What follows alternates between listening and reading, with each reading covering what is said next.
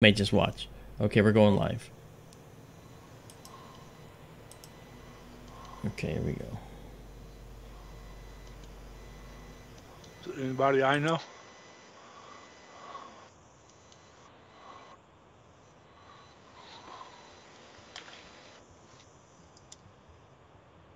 Okay.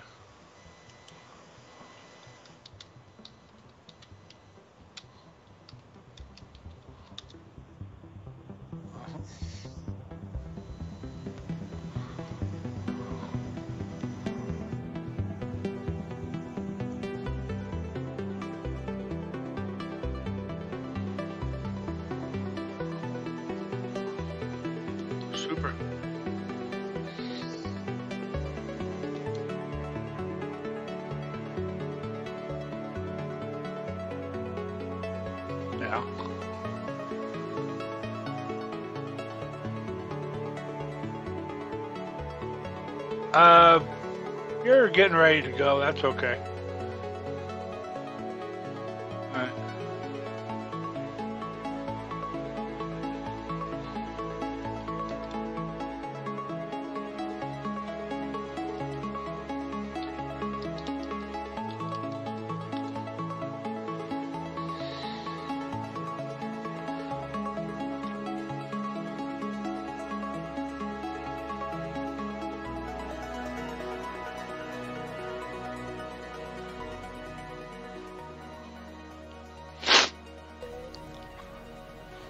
Well, hello there, and welcome to SkyTour Livestream. This is Marc Dantonio here with Daryl Mason. Hey, Daryl, how's it going?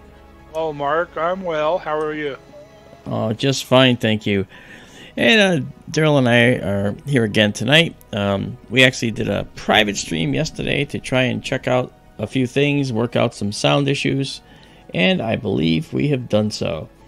So, uh, hi there to Cypher. Hi, Headband Harvest. What's going on? And Do W is here. Nice to see you. And Daisy and Zoe. It's nice to see you guys with us. Uh, you know, it's fun to see who shows up right at the very beginning. I like that a lot. PG is here as well. That's Petita. She's off in Pennsylvania. Uh, and uh, met her at Pine Bush. And she has one of our books. And I hate to put her on the spot, but PG, did you start reading the book yet? Just, just asking.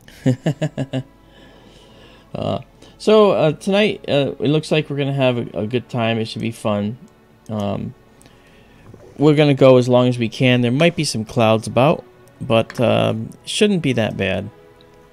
Uh, and uh, but we'll we'll see. Um, we have our camera up and ready. We have our system here ready to go. This is our system that we're using to uh, check out the evening sky. Can I say something real quick? You may. Okay. Uh, you see Venus over there in the southwest after sunset, folks. You may notice that Venus has gone all the way through and past the uh, teapot now. That's the handle of the teapot, just above the horizon. And so Venus is about to is moving toward Capricorn now. And if you look to their upper left, you see Jupiter and Saturn uh, in a line. They're almost evenly spaced. And Jupiter and Saturn are going to be dropping into the southwest. And the three planets are going to be coming closer and closer together in the coming weeks. It should make for a really, really pretty view. I think that's going to be a beautiful view. Decent, decent conjunction. Yeah. Okay, thank you for indulging me. No, not at all. That that's you know, part of the reason that you're here is because you offer those wonderful things. Thank you for those observations. Um, so uh, I was focusing on getting all the equipment up and running, and uh, our telescope is up and running. We have our cooler, as you can see, it's, it's minus 10 degrees Celsius, so it's super cooled. Uh, this is our camera control panel over here on the right side. Okay, that controls all the aspects of the camera. And up above here is the telescope in the building right there. And then up on top is the telescope control system. So you have telescope on the left, camera on the right.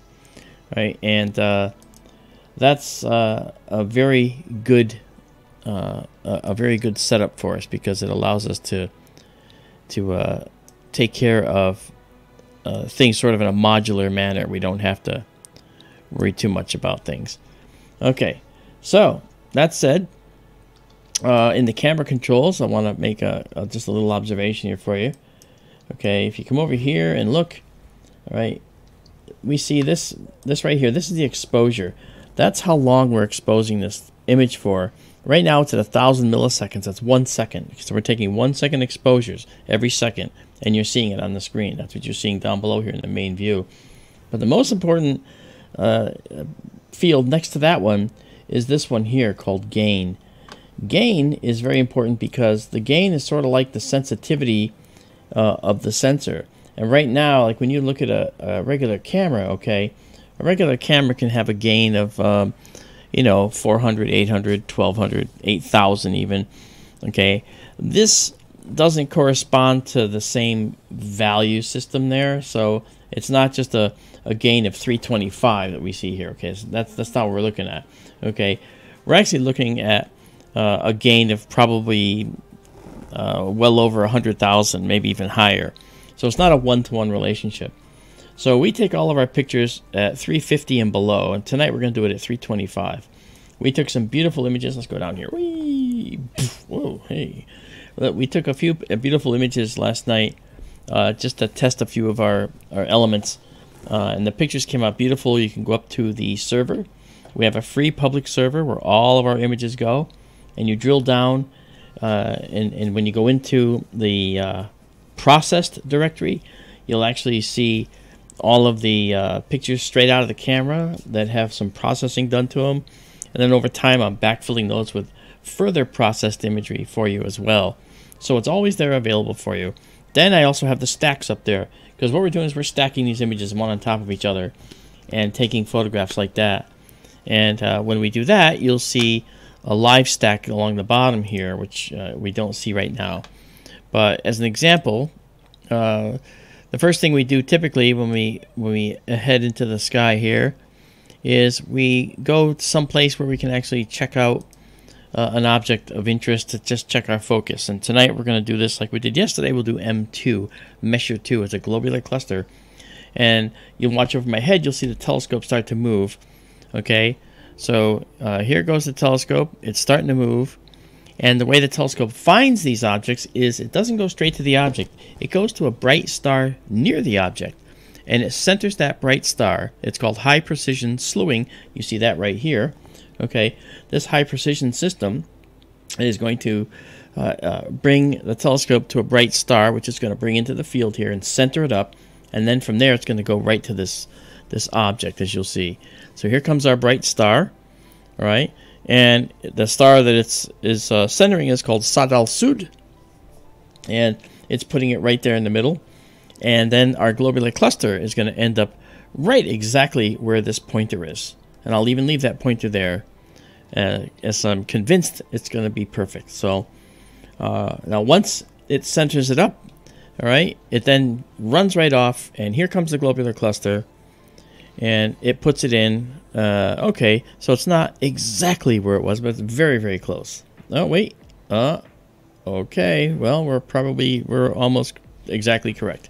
Okay, so there we go. That is uh, the globular cluster now. This is Messier 2. You saw how fast that was, and it's going to take that kind of time throughout the night as we go to these different objects. If you look over my head, you can see the telescope is pointing kind of that way.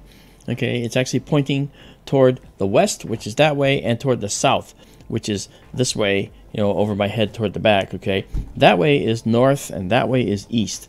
So the back of the observatory that you see right there in the back area, that's actually toward the north, uh, and that side of the observatory wall is toward the east. This is to the south, toward me, and then that's west. So southwest is that way. So pretty cool. Yeah. And we got a M2. Yep. I'm sorry. Pardon me. Uh, M2. What constellation is it in? You asking? I am. Oh, um, I'm not sure, but I have to get the boundaries here to make sure that I know the answer to that. Okay, okay uh, the, that's uh, Aquarius. Aquarius, yes, that's right. I knew that and forgot it. I thought the people might like to know. Yeah. And to figure that out, sometimes what we do is we actually we actually uh, check one of the stars inside the constellation boundary from which this is in, and you'll see this AQR that stands for Aquarii. Uh, so 34 Aquarii, that's this star that we're on right now there. And here is where we are. We're on Messier 2. And um, just to get an idea how that works, uh, we're going to center it up and then bring up the measured field, which shows the size of our telescope field as it relates to Messier 2. So if Messier 2 is in the center of our field, all right, it's not quite, but I will move it there. Uh, and I will do that by changing our speed. You'll see our the speed right there. I'm changing it down to uh, 16x, 16 times guiding speed is what that means. And then we're going to move the telescope to the west a little bit. And that's going to bring Messier 2 in the middle here. All right. Okay. So now, if I come back here, we can adjust for any inconsistencies. Okay. Um, so there's Messier 2. And uh, there's our, that's where it thinks our telescope is. So telescope is off a little bit. So what I'm going to do is I'm going to sync up the telescope to this location. And that's going to fix the connection between the telescope and the program. But it doesn't change anything at the telescope. The telescope knows where it is, but the program was off a little bit. So now it's lined up. And we do that a couple times through the night just to keep this program on the straight and narrow. Uh, so that's how that works. And I want to say hi to Rockstar and to Leslie Latin Taylor. Hello there. Welcome to Skytour Livestream tonight. How you guys doing? All right. So now, uh, when we have this sitting here, what we can do is we can actually zoom in on it. So I'm going to take us in. Uh, I'll take us to 100% and just check out the quality of the image. Okay, and as you look at this, you can see that the stars aren't quite focused. And so uh, what we want to do is we want to try and sharpen those up a little bit. So I'm going to take us, uh, uh, take us, let me do this. Let's do, uh, this is 48 262. That actually worked yesterday quite well for the temperature. Yeah, Focus is temperature dependent. Yeah. Focus is Very temperature good. dependent. So yeah. So let's try uh, 418 and see if this works.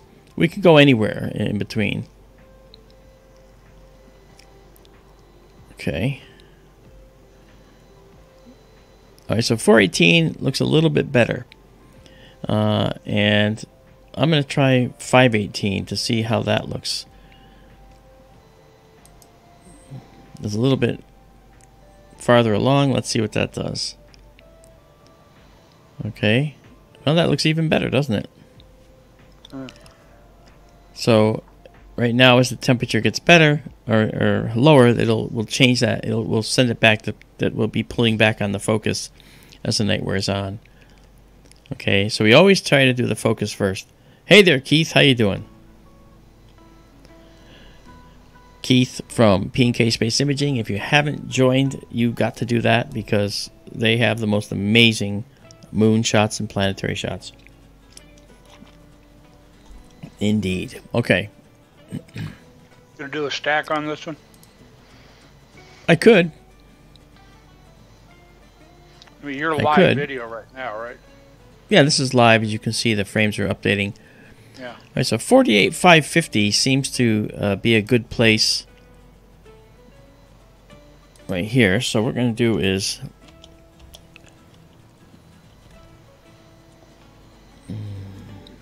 48 550 all right.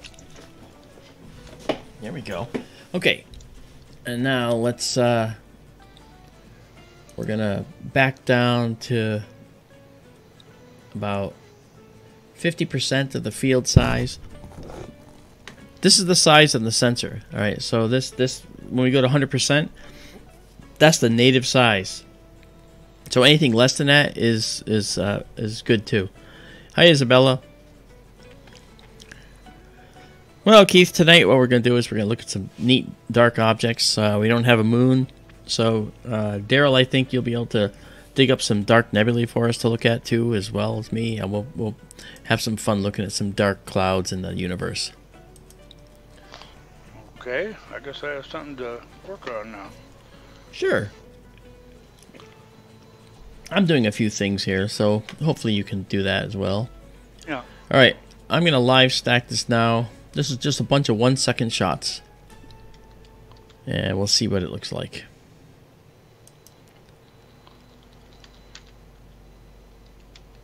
Oh, I think I have my... I gotta get rid of this guy. There we go. Ooh, there we go. Look at that. That's really pretty. Now, the color's not right, of course. So what we have to do is fix the color. So I'm going to balance color right now. Hello, Preston Paget. How are you? All right, let me do this again.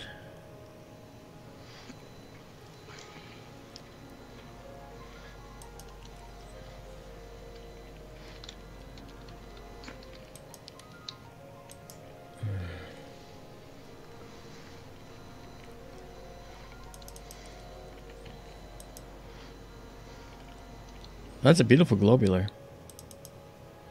It is. Indeed, it is. M2 is an awful long ways from uh, M1 Crab. Uh, kind of surprised Yeah. it took Messier so long to uh, find number two. I know. I wonder if he renumbered them um, later on. I guess we could never really know that. You know? hmm Well, I, I'm sure it was a hit and miss kind of thing back then. Yeah, maybe. You see some parts of the sky, uh, sort of like NGC objects nowadays, you know, which I, if I remember correctly, tend to run in uh, rising right ascension. But uh, Yeah. uh, the Messier list kind of seems to follow something of that idea, uh, especially later on in the list. Yeah. Some of that too might be where uh, also when he got into the list, other people were contributing to the list. Yeah, that's probably true. All right. Let's let's bring this over a little bit. Here we go. Oh, wrong place. Okay. I hope you guys are enjoying uh, so far. These globular clusters are really interesting because they're called halo objects in our galaxy. They actually go around the whole galaxy. They orbit the galaxy. So some of them plunge through the galactic disk. Some of them are outside the galactic disk. Uh, the really distant ones are outside the galactic disk. So there's a lot going on. When I did my thesis in astronomy, um, I did it on what are called runaway B stars. And these are B stars, that is to say, very hot young stars that are speeding out of the galaxy. And they would normally be born in a cluster inside of a nebula, okay, like the Lagoon Nebula or the Orion Nebula. And then over time, that nebula would be dispersed by the hot stellar winds of these young hot stars. And when that happened, sometimes gravitational interactions with the uh, uh, with the uh, other stars in the area could cause it to could cause these to go uh, through a gravitational whip and send them right on out of the galaxy.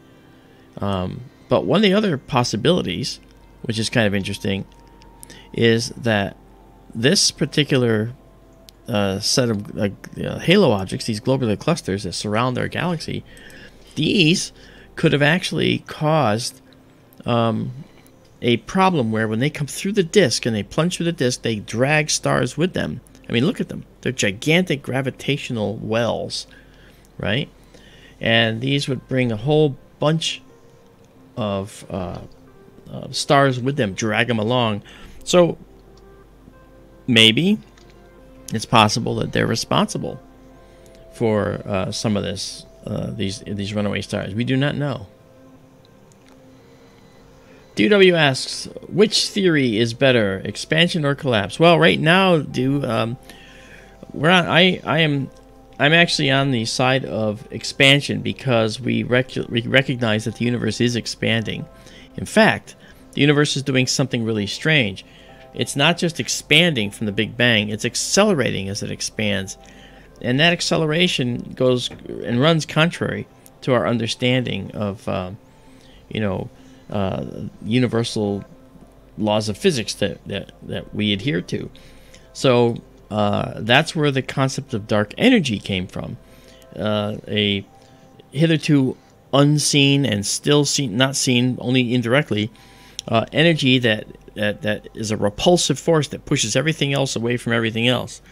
Um, kind of like if you had a balloon and you blew it up a little bit and you put dots all over it. When you blew it up more, every dot would move away from every other dot on that balloon.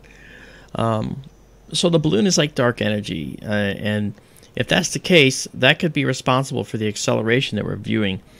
Um, my personal feeling is I think there's something else going on, and I'm not sure that I really buy the whole dark energy concept personally. I think that dark matter, however, uh, can exist. Dark energy, on the other hand, is a wholly different thing. Very, it's created for a very different reason. Right now, it's a placeholder until we understand what's really going on. So the universe is expanding, in my view. Focus looks good, Oh, yeah. Daryl. Look at that. Uh, sorry, I was uh, looking for something. Yes, right. that's great. Uh, oh, Lewis asked if there's a black hole in M2. I did a quick search and uh, saw no mention of one. Uh, when Messier discovered M2 here, uh, his little telescope couldn't resolve it into stars. Uh, William Herschel did resolve it into stars. So you could he could almost claim it as much or more as uh, Messier could.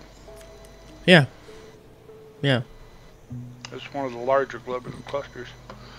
Old yeah. too. This. thir- 13 billion years old. Oh. And that says something to the types of stars we see in this cluster.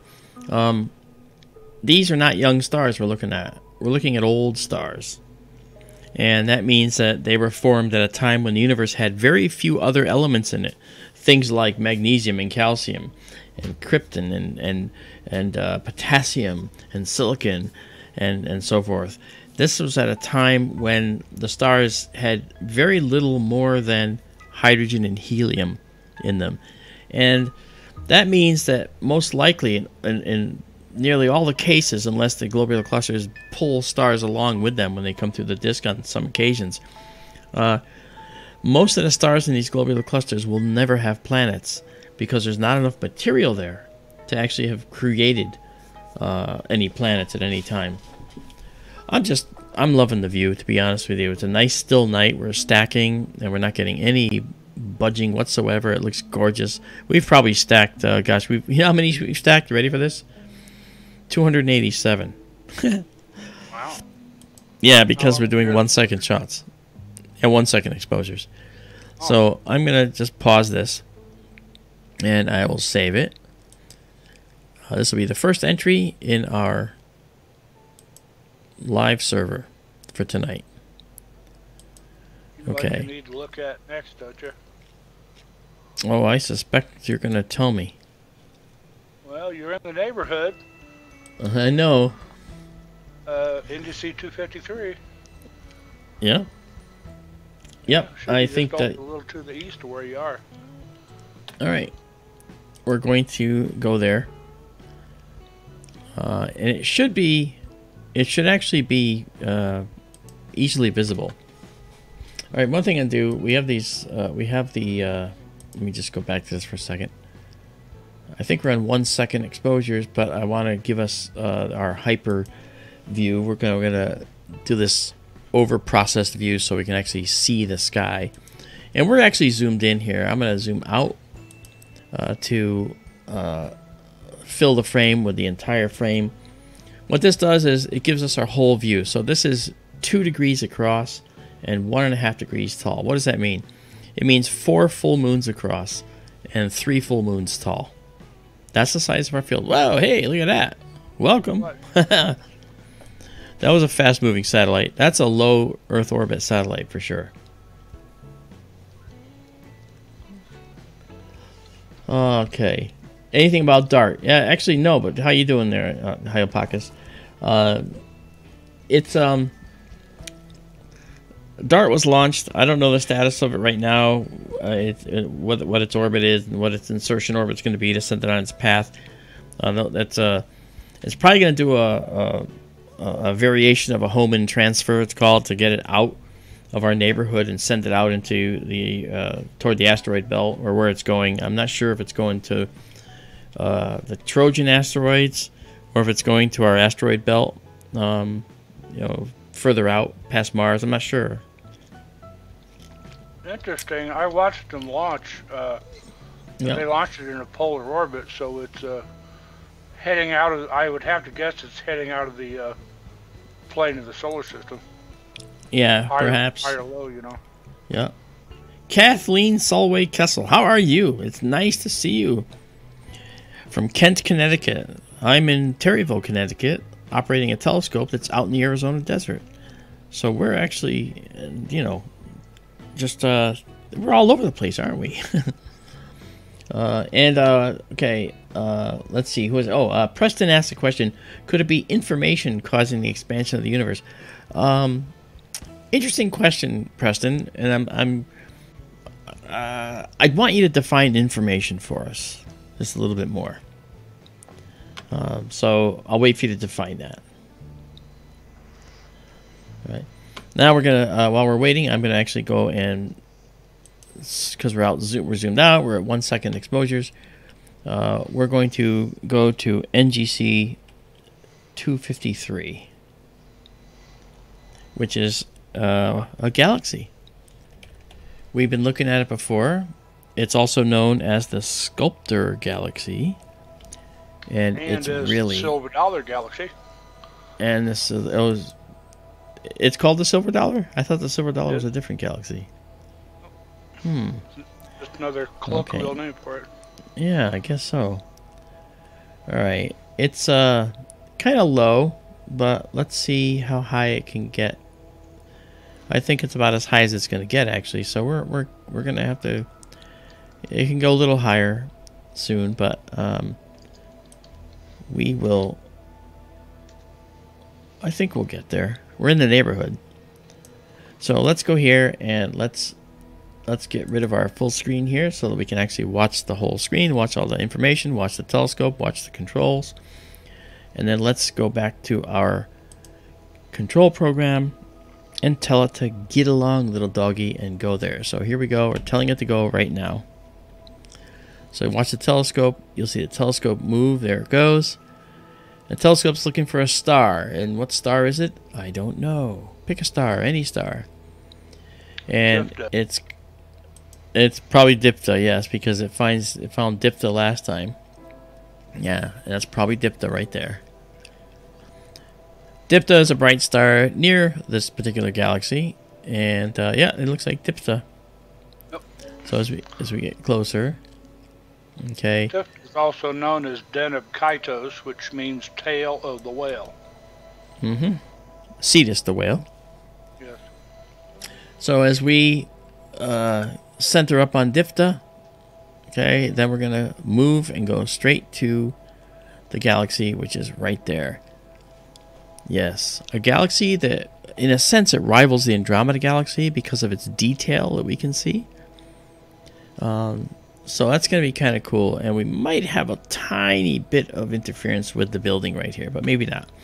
We're actually working on, uh, I actually have to order them.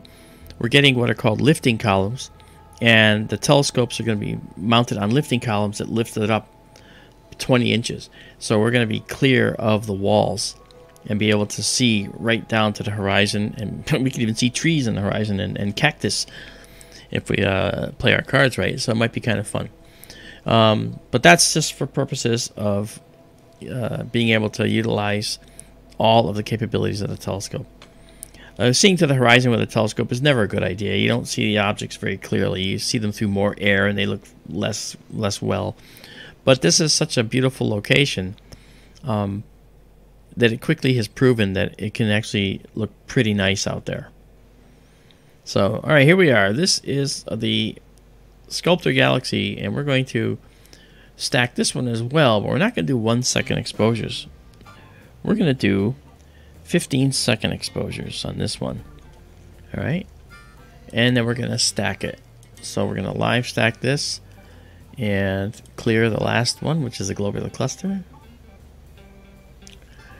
And this gray, uh, green uh, scale tells us how long the exposure is going to take. You can see it down here. Okay, when it reaches full, then we see the first image, and there it is. And now what we do is we um, process a little bit and get the color processed right. All right, and let's go back and let's get this. All right, we're gonna drop this down too. Preston answered your question about what he meant by information. Oh, information is everything from our thoughts and dreams to the information of every atom molecule in the universe at its most basic level. You know what? I can tell you right now. Um, uh, as an astronomer, one of the things that I used to think is that you know the universe is only the things we can see and understand, and that the things we can't see and understand are just another bit of physics to, to learn. Uh, I've, I've actually changed my tune on that a little bit based on other things I've seen and experienced. So um, I won't say that what you're asking about is something that's that's nonsense at all. I think that it remains to be seen. Um, and just because there's no true evidence for it doesn't mean it doesn't happen. I'll give you an example why. Um, that example has to do with something called quantum entanglement. Now, Preston may know about this. I'm sure he does. Hi, Louis Ta. And I think that um, if we think about how quantum entanglement works, okay, this is my squid tentacle iPhone uh, stand. If I break this apart and I take one half and I put it in laboratory A and one half and put it in laboratory B, and I change the electron spin, a characteristic of electrons, which can be up or down. If I change it in one side, on one side's electrons, then I don't have to measure the spin of the other electrons to know that they're not spin up anymore, they're spin down. So if I change these to spin up from spin down, this guy's will be spin down. They'll be the opposite. And it'll change. Okay? And that happens no matter how far apart these things are. And it has to do with how and when you measure. So, what are we doing? We're measuring to get what? Information, just like you were suggesting, Preston. So, um, I think to say it causes the expansion uh, might be limiting what you suggested. I think that maybe this information, this quantum entanglement that the universe seems to be uh, uh, full of, uh, the universe seems to be full of, uh, could not only just explain expansion, but maybe the universe as a whole.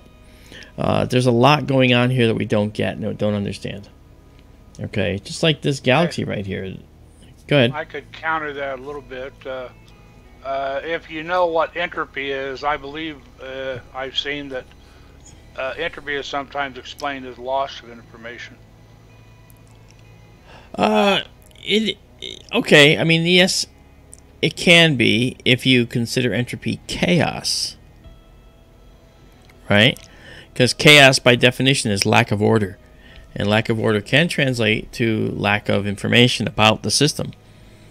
Um, so I, I don't I don't say that that's an incorrect statement myself. I think you could be right about that, Daryl. Yeah. Let's look at NGC 253. Yeah, look at that, huh? That's shaping up nicely. Yeah, it is. This uh since uh since I got out to the the building and I worked on this telescope, uh, we've gotten quite a bit, uh, quite a bit better imagery. I, I should say quite a bit. Uh, I should say a thousand percent better actually. Um, and it's just absolutely stunning. You know. So mm-hmm. let's just let's do this. Okay, now let's zoom in more. Okay, so you can see a little bit more. What are we looking at? We're looking at this. Ready? Boom. Yeah. This is a galaxy. And if you notice, you can see these spiral arms outlined by these dark this dark lanes. These are called dark lanes. Kind of like you, Lane, watching, but L-A-N-E, not L-A-I-N-E.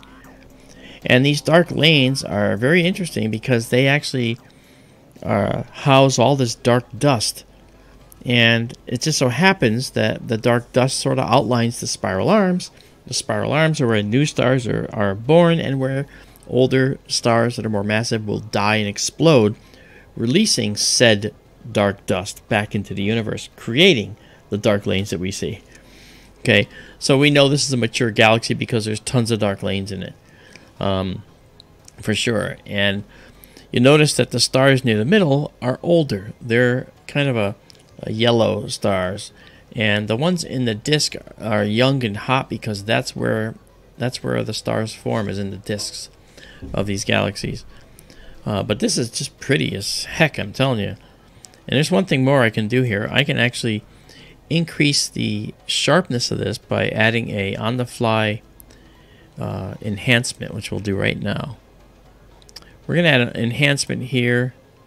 If you watch the screen, you'll see the galaxy get a little sharper. Okay, now it just got a lot sharper right there. I don't know if you can see that. I'm going to bring this up a little bit to see it happen here. Hey, Tina Hamilton. Thanks for coming in. It's very nice to see you here. Um, we always welcome everybody. If you haven't subscribed, please do, okay? Love to have you. It's always free. Um, and so this is a beautiful, uh, beautiful galaxy day. This is a great night. It's a great night. What do you think, Daryl? What do you think of this galaxy? Looks good, huh? I think it's great. Yeah. I'm going to um, go back to the histogram tab here. And I am going, thank you, uh, PG. I'm going to just drop out a little bit of the green to let that blue come back.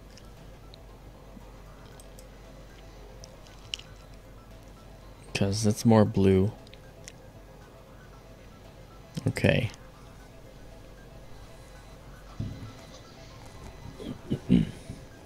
oh, you're welcome, Preston. I again, you know, and the reason that you know Preston says that uh, you know the he says the explanations are easy to understand. Yes, and it's it's very complex subjects that uh, are are that, that we try to make easy because I believe science is within reach of everybody. Not everybody can know quantum mechanics. Not everybody can know, you know, Newtonian kinematics or celestial mechanics. but you know something? Everybody can understand how planets orbit, how planets rotate around stars, how galaxies rotate, as long as it's brought down within reach from what they understand, because not everybody understands, you know, the physics of all this. But you can understand what's going on, and that's what Skytour Livestream is. That's what I do. I try to make sure that you can understand it at a level that allows you to dig a little deeper if you want to. You know, and I think that's that's kind of cool. I, I appreciate that comment. Thank you very much, Preston. Notice how yellow the center of the galaxy is. Yeah, those stars are older. It's in, out in the outskirts. Yeah, I uh, just color corrected it to be more like what it really is, and you'll notice that the you can see this definition better. We see this in the Andromeda Galaxy as well. You know, the spiral arms where the stars are formed. When stars are formed, they're typically hot and young. What does hot correspond to? Hot corresponds to blue and white stars. So that's what's out there. The center of the galaxy has older stars, you know, and uh, that's that's pretty interesting, you know.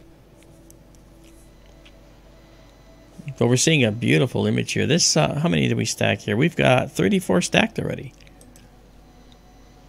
So that means, and what I do is, we're going to pause this here we're going to save the stack and when I hit save you'll see across the top a green line and it says the stack has been saved as a FITS file.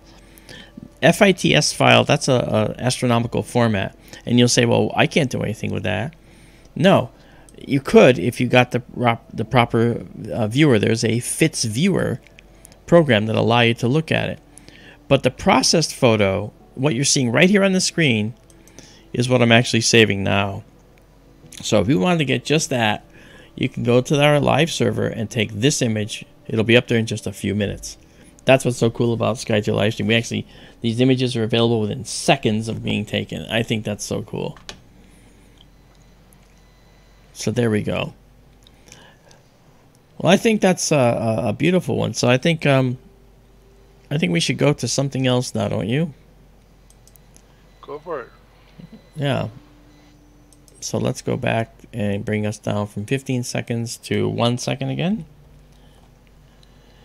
And give us a hyper process view. And we'll back out to fill the screen and fit the very, very large field to the size of the image here. All right, so now we jump back in. Let me bring this up a little bit. and now we come back to here. I still, I want, you know what I want to get to before it's gone completely? I'd like to get to, um, I'd like to get to the veil one more time. Oh, sure, I forgot. Sorry, yeah. yeah. No, that's Cygnus, fine. I think Cygnus is westering after sunset, and uh, uh-huh. grab it early. Yeah, I want to get it while while we can. So it's gonna be. Uh, it's over here. I want to get over here. It's right about here. There it is. That's what I want. Eastern Veil and it's still going to be 55 degrees above the horizon. So we have plenty of time. So let's go there. Telescope's going to shift all the way to the other side of the sky, guys. Here we go. And we'll just come back in here and watch the artwork. It kind of looks like art when it moves to the other side of the sky. You can see the telescope moving over my head. Okay. And when Daryl's saying Cygnus is westering, it's actually toward the west, which is that way. And then we are going to put a star, a bright star in here. It's precision slewing to a star. And here's the star. And um, for the veil, it might be going to uh, one of the... Yeah, the veil after collimation is going to be awesome, Isabella. Okay, Gienna. Gienna Cygnus. Cygnus. Okay. So now from here, uh, you'll see the. Isn't this fun watching it live? This is so cool watching the telescope live. And now we're heading to the veil, and you'll see it. There it is. There it is. The beautiful veil and a satellite. okay. So there we go. That is the beautiful eastern veil. And we're just going to bring that up into the field of view here. Alright. I'm going to move it over too because part of the veil that I want to see is the central veil. And so it, there's an eastern veil, okay? There's a central veil, and then there's a western veil, which is spindly. And I'd like to show you that too. So what we're going to do is we're going to actually move the telescope a little bit to the west. Okay. And you'll see why because once I move it the the central veil is very very dim relative to this guy but it's bright enough to be seen and so we're gonna we're gonna see it you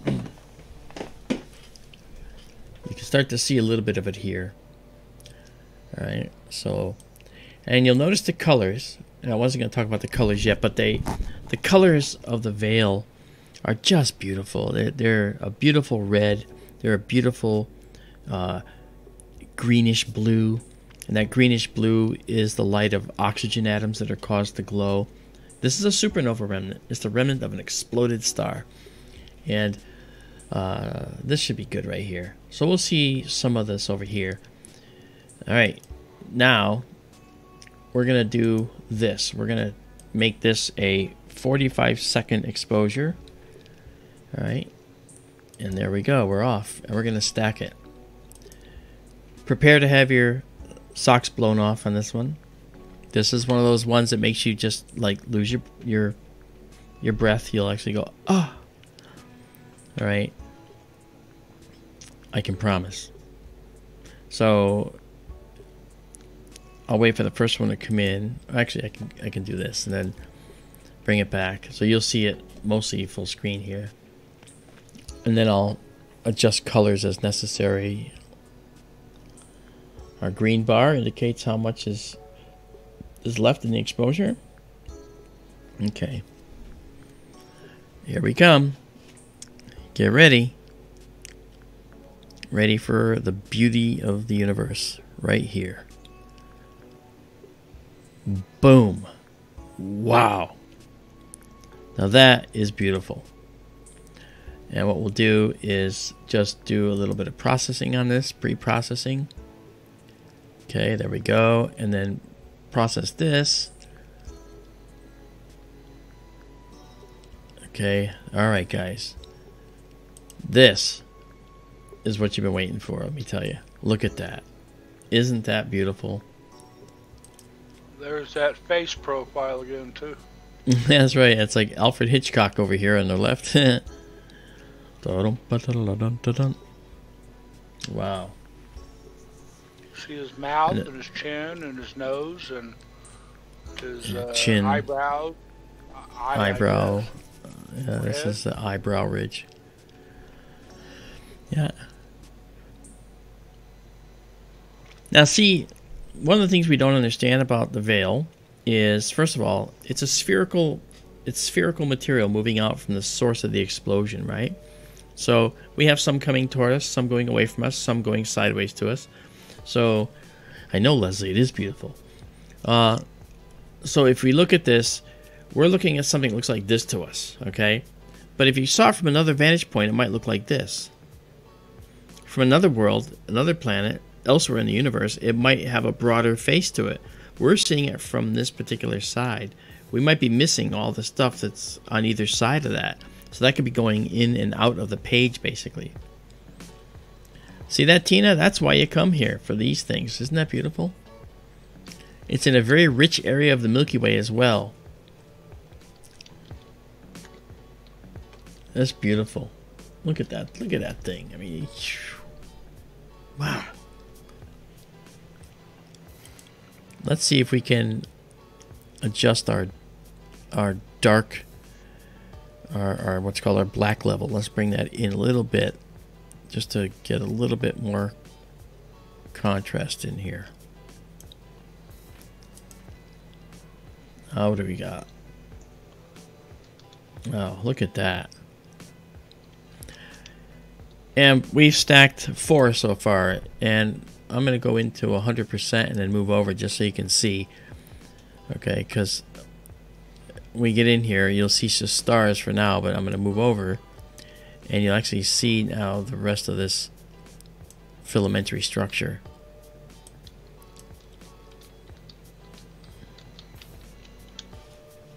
See that? That's amazing.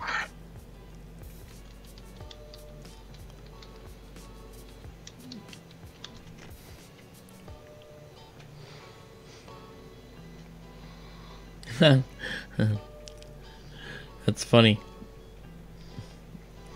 Hey, Dagger. Welcome.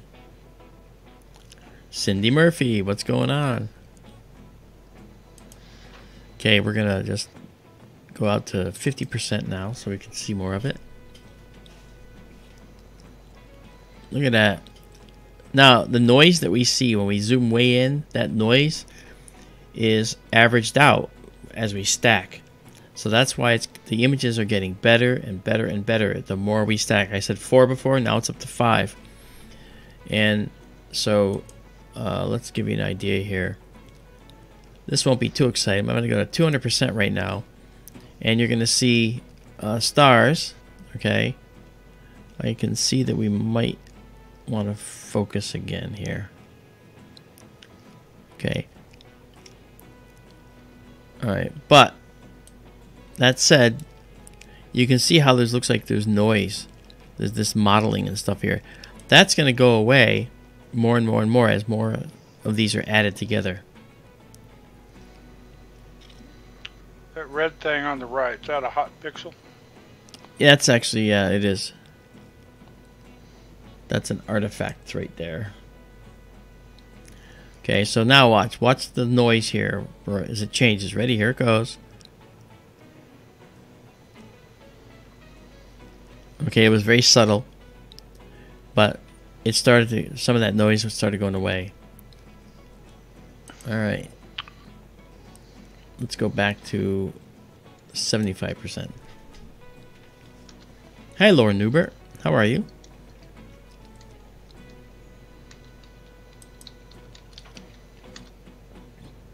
Laura, I'm uh, working on the, still working on the business arrangement uh, for Sky Tour.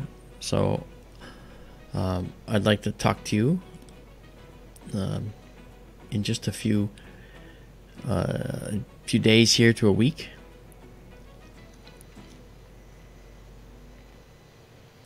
This is really pretty.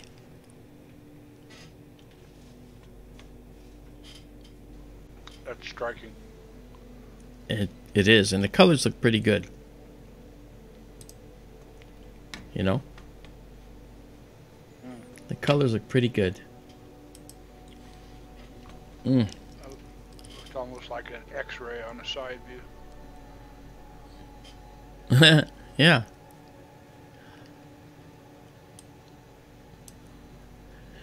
Now moving over to the other side of the frame, we have the part of the central veil visible in this shot as well. There and up higher.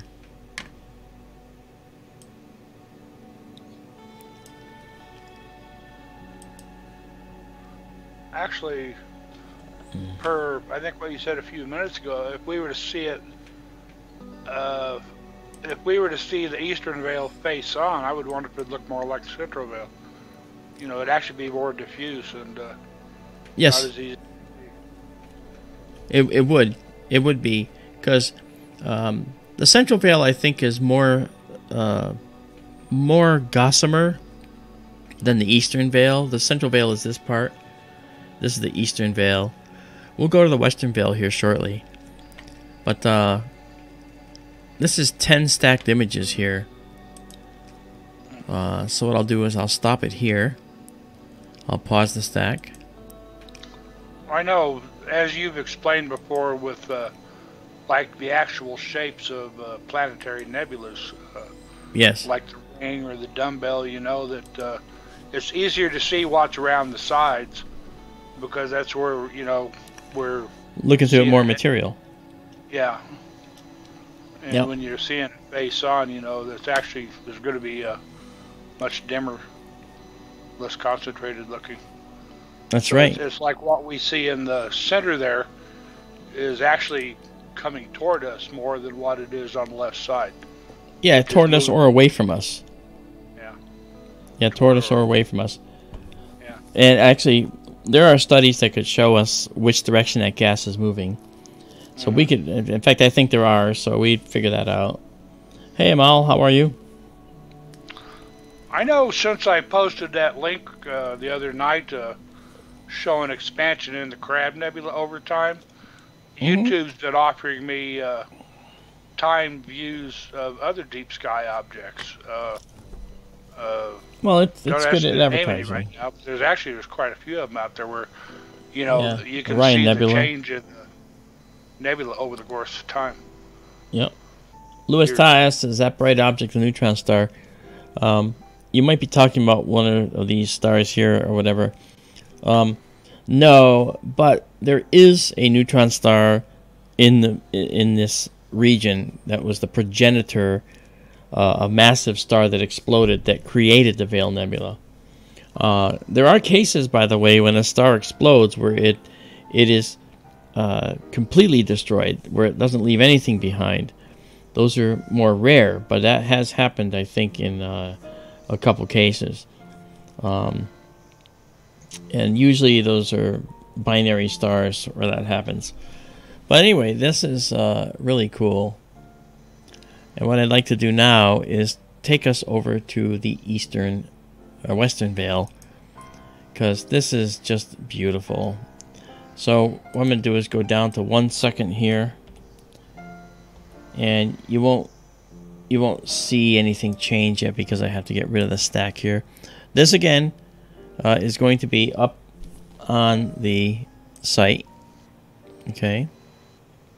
So here it is saved. Okay, I didn't see the save. There it is. Now it's saved, and then save it exactly as seen. Okay. The more I hit that, if I if I were to hit it again, I'd have yet another copy set made. So, not a big deal. Okay, so now if I'll clear that and come back over, and let me actually get rid of the live stack because that's got to go for now.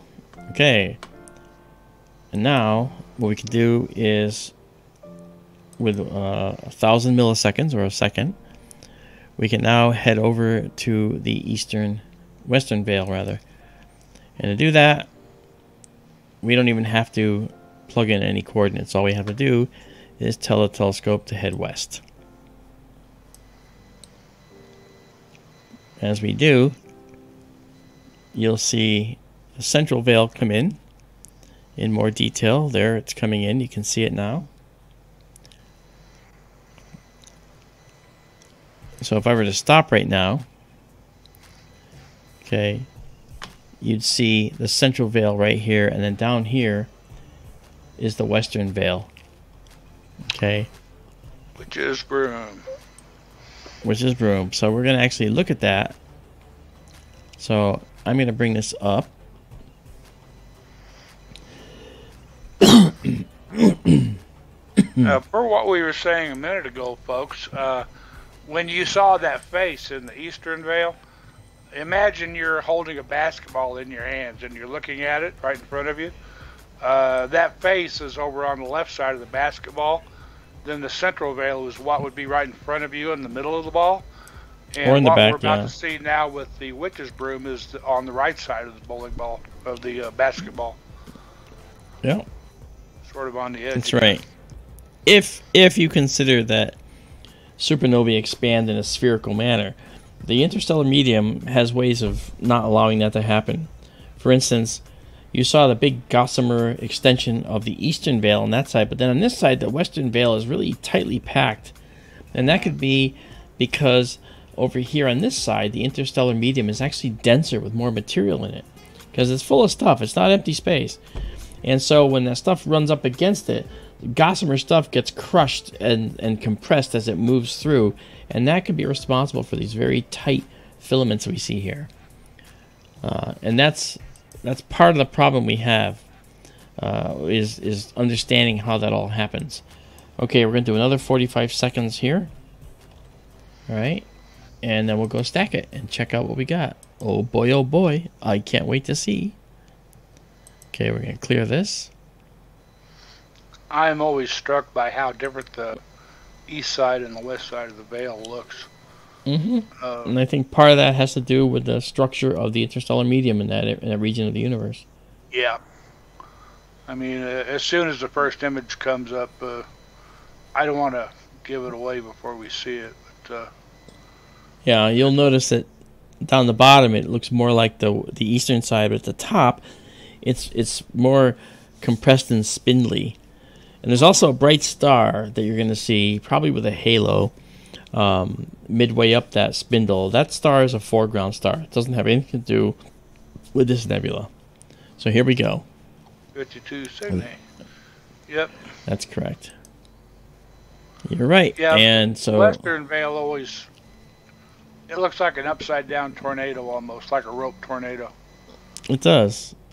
You'll notice that this this beautiful green, you know, what causes that green? Well, that's caused by uh, elements, chemical elements that are in the periodic table of the elements that were in that progenitor star, the original star that exploded, atmosphere. Um, and it when stars are formed, they're formed with all kinds of elements already. The sun has elements in its atmosphere it can't possibly make in its its nuclear furnace in the center because stars make elements in their cores. So the more massive stars made a lot of these different elements, and when they blew up and scattered them to the interstellar medium, some of that was picked up in the solar nebula that then became the sun and the planets. That's why we have, say, uranium, uh, gold, and silver, and calcium, and thorium, and these other materials, you know, potassium and sulfur, these different materials that are in our periodic table that were basically here when the sun formed, and thus the sun also has them in its makeup. The sun is is right now it's fusing hydrogen and making helium. Technically, it's an isotope of hydrogen making an isotope of helium. That's just a heavier versions of each, the little neutrons in the atom's cores. Uh, but that all said, what we're looking at when we look at the sun is a star that will make hydrogen into helium, helium into carbon, maybe, but nothing really further beyond that. All the stuff that's in the sun's outer envelope, okay, is very, very hot, and the electrons have been shot right off those those previous atoms, and now there's a lot of nuclei, or you know, atomic nuclei out there in that envelope, and that's what's there. So we have calcium nuclei, we have magnesium nucleus, you know, nuclei. We don't have an atom of magnesium, an atom of calcium. They're, they're nuclei, right? The electrons have, are gone. The electrons go into becoming, uh, you know, part of the solar wind, along with some of these things that, that stream our way uh, in terms of the solar wind. Like when you see the sun go through a flare, it shoots off this massive material. What is that material? It's hot plasma. What is that? Well, plasma is what happens when you heat up atoms so hot that their electrons are forced off and you're left with very high energy protons and high energy electrons. That's plasma. And it will glow. And that's what's that's what heads toward us in a cosmic uh, in a uh, coronal mass ejection. It's a cosmic blast from the sun, you know. So I think that's pretty cool. Um, and uh, Lewis Ta, thank you actually, by the way, for putting your questions in caps. If if you have questions, folks, put them in caps like like Lewis. He's doing the right thing. What causes the spindle form? We don't know that it's actually a spindle, Lewis, because again, we're seeing it on edge like this. If we see it from the side, it could be like this. You know, um, but it can be compressed. But let's let's take a look at this section right here.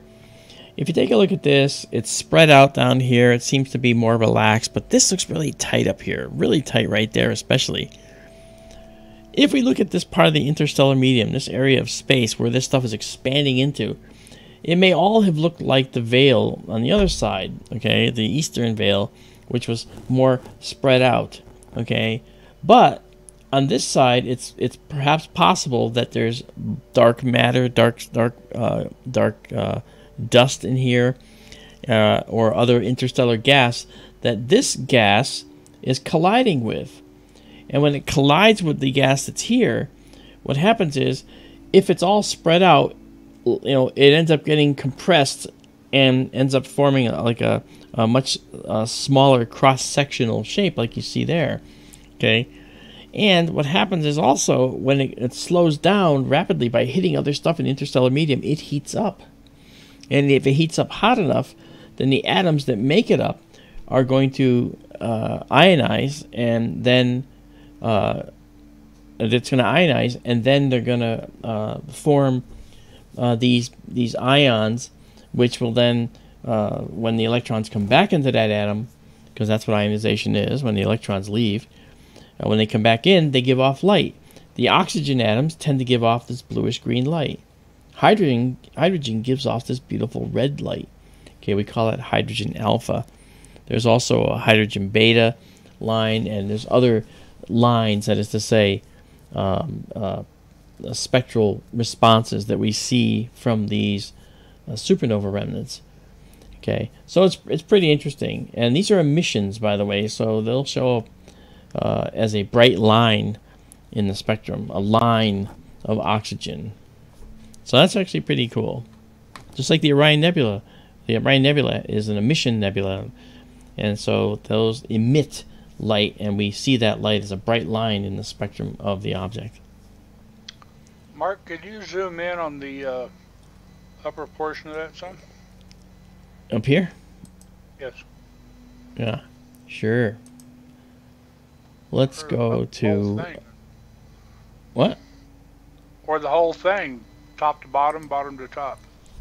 Well, let's see. Let's see 75%. I mean, it- it's just, it sure looks like twisted filaments to me. Yeah. You know, it's like a dust devil or a, as I said, a Yeah. tornado. Yeah, we don't know actually. I'd love to know. I mean, there could be some tortuous effects out there, uh, but it's also. Uh, I I also think that uh, when we look at something like this, we have to consider all the possibilities. Uh, and one of the possibilities is, as Daryl points out, maybe there's some twisting going on, but we would tend to see a corkscrew effect if if there was uh, on some of these filaments and we don't really see a corkscrew effect that is to something that looks like it's going back and forth but could be doing this you know Uh, that's really one reason that. I wanted to zoom in on it, is to see if, uh, when we're backed out away from it, it does look almost twisted. But as you Mhm. move in, uh, I can see what you're saying. It doesn't look twisted so much. There are dis- Yeah. discrete elements inside there. You can see some just to uh, below 52 Cygni there. yeah and that's right here. Yeah. Yeah. but the thing is uh you know this this is this is again is one of the most beautiful uh nebulae in the sky and it's it's only available to um, those that have the telescope to see it otherwise you just don't get a chance to see it the other thing too i want to point out is that, is that the geometry of the universe is weird because sometimes you can you can see uh, some strange things oh kathleen see you later you have a good night um, sometimes it's strange. For instance, if you look over here on the right, you'd swear that you're looking at a vertical line of stars to a bright one to a horizontal line of stars. It's a perfect square, right? Because your mind, your brain, is making perfect patterns. But in fact, this is not a perfect line. It's actually an arch. And it's actually below this star, and this line is also not a straight line. But your brain is making it look like a straight line and that's called pareidolia. We try to get something, we try to make something understandable out of the non-understandable. So, uh, but sometimes there are real reasons why stars will be in chains like this.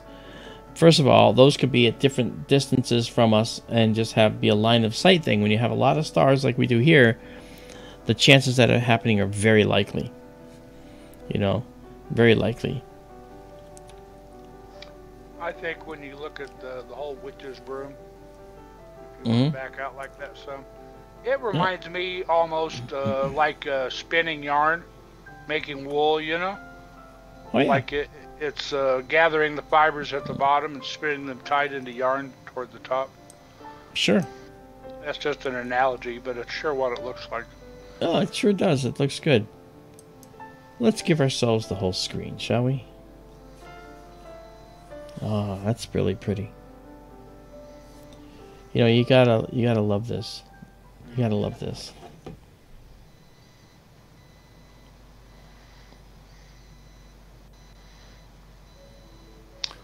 And it's dynamic. It's all moving.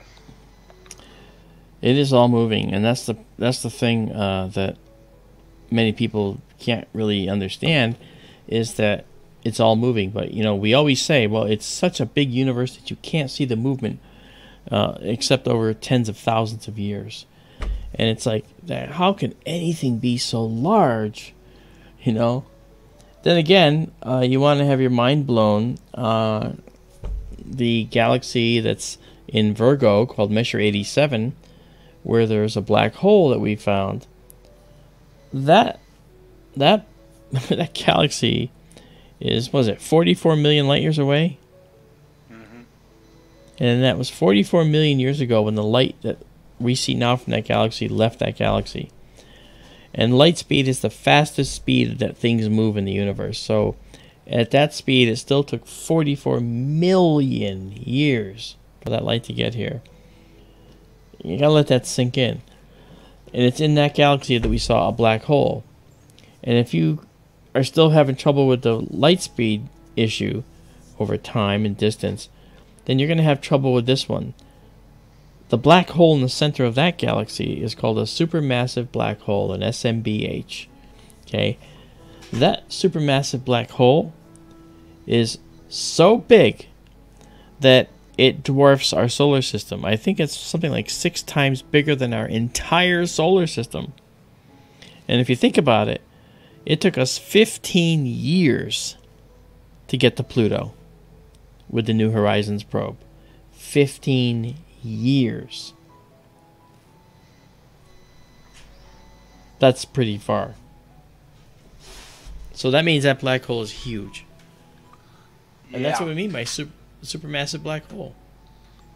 What I think is cool about M87, uh, we can And- actually see the we can see the jet being shot out from the black hole. That's right. 45 million light years away. Oh, hi. Hold on. Yeah, how's it going? Yes, he, but he, he can't join. I did, but he's not going to be able to join. I, yes, I told him that. I know, but it's I told him. Yeah. All right, I won't drink. Okay. Sorry about that.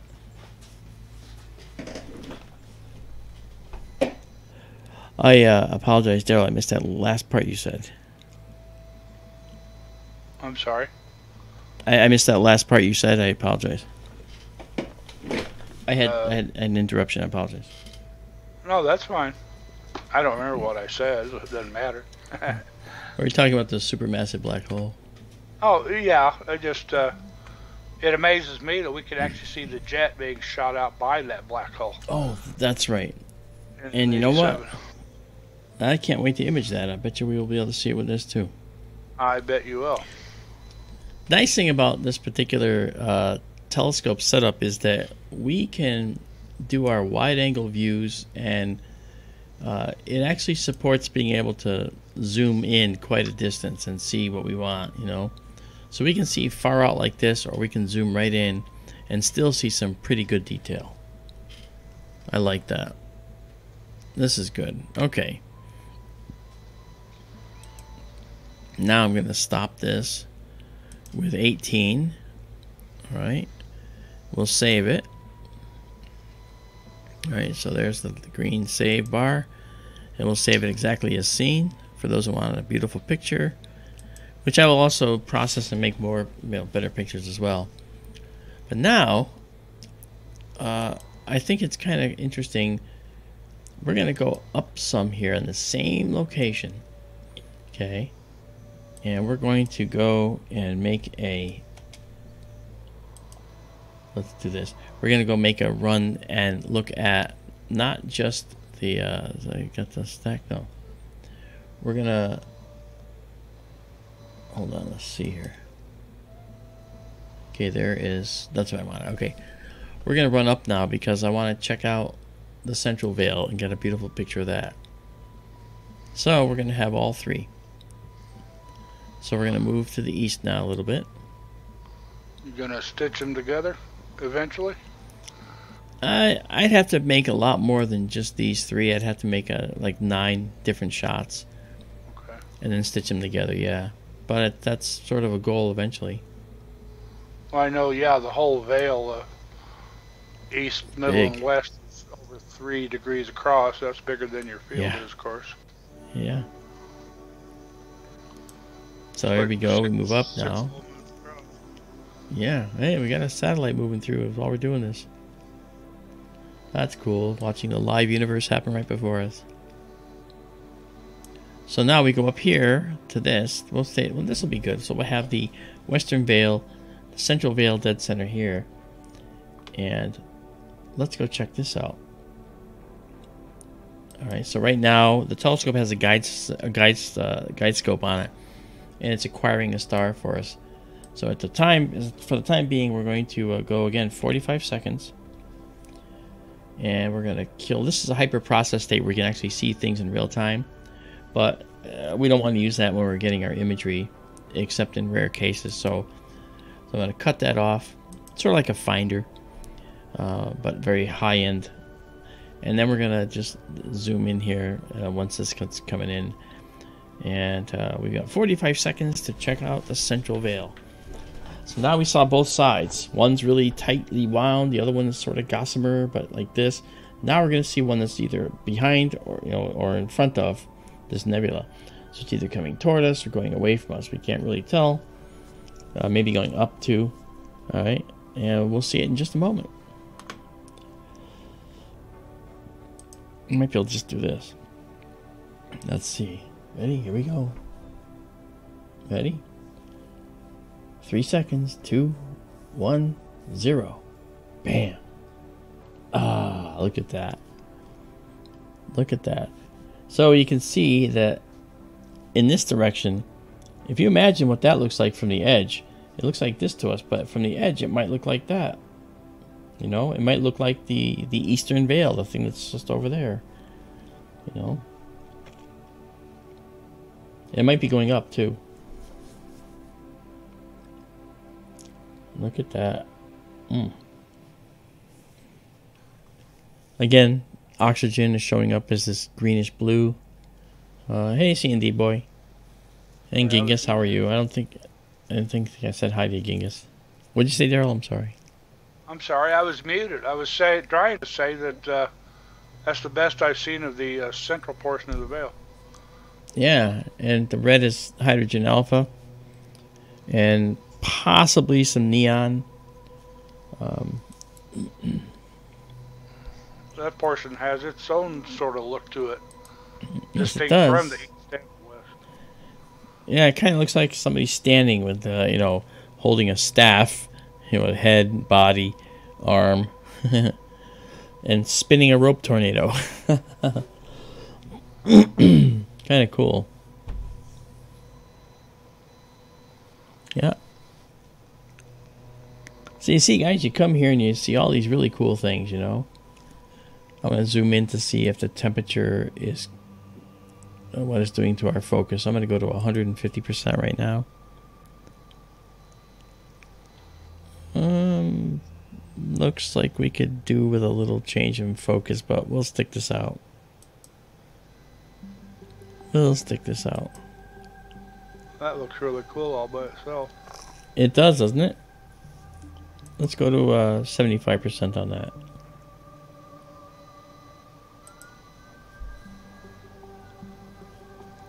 Look at that. This beauty belies the absolute chaotic, cataclysmic explosion that caused it.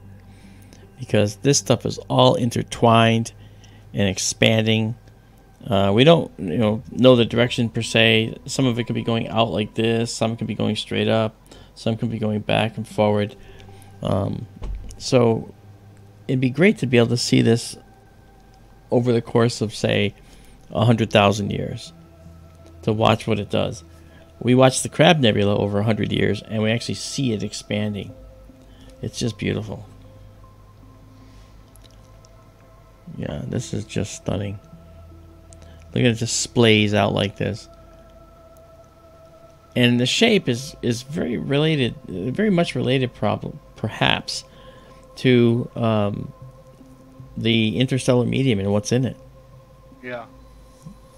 I find it interesting when you look at the western veil, the witch's broom, it looks mostly uh, O3. And you look at this and it's got, you know, it look the the two different colors, the two different elements are distinct, yet they're Yes. sort of blended, you know, or mixed together, or running in close proximity to each other. That's right. That's right. So let's do this. Let's drop this back out. Let's go to 40%.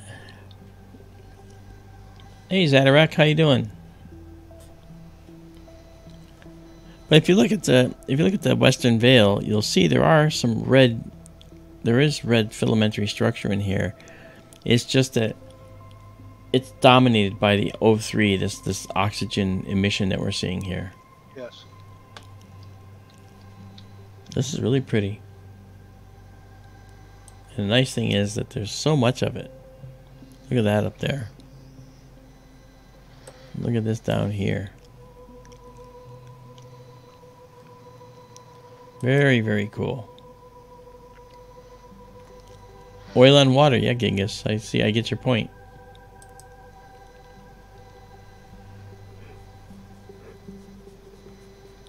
Yeah, Laura Newbert says Rorschach test of the universe. Exactly right. What do you see in this shape? Um, I see a guy, a warrior with a beard and a helmet, red helmet. Is he's green, standing here with a staff, and this is his arm, and he's twirling a whip or a rope tornado, and he's got his legs down here, and he's just sort of standing there. You know, I mean, it could be that too, right? Kind of reminds me of a tree. Well, because of that spindly nature, yeah. Wow. Now, this is the best I've seen of this portion of the nebula. Yeah. I do think that I want to I want to kick down the green a little bit here.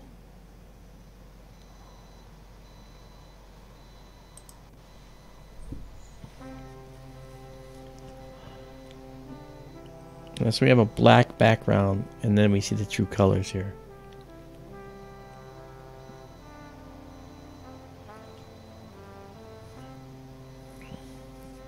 Leslie, I'm so happy that you're enjoying this. I'm happy that you guys are here and enjoying this. This is really cool. Again, this is a supernova remnant. This is the remnant of a star that is that used to be just a regular star. One of these little tiny points that you see here. But look at the disastrous damage it can do to the universe. Look at all this stuff that it has spewed. This is what happens when a star blows up. You know, a star that might have gone unnoticed. And then boom. But it was massive.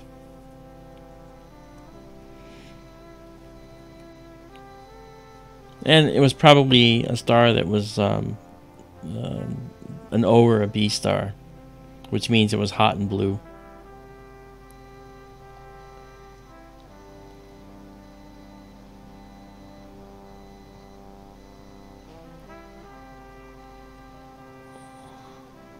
I'm just stunned by this. Isn't it beautiful? I'm trying to visualize how the whole nebula would, uh, you know, fit into uh, whatever shape it is, truly is. Yeah, for sure. I mean, is is this part, you know, on the side of the basketball facing us, or the side away from us, or The side on top.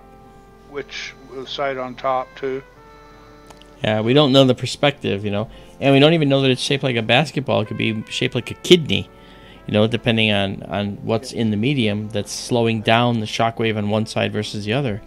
Exactly. Uh, we see that a lot with with uh, Wolf-Rayet stars, which are very hot young stars that are that are spewing off their outer envelopes that will eventually lead to supernovas.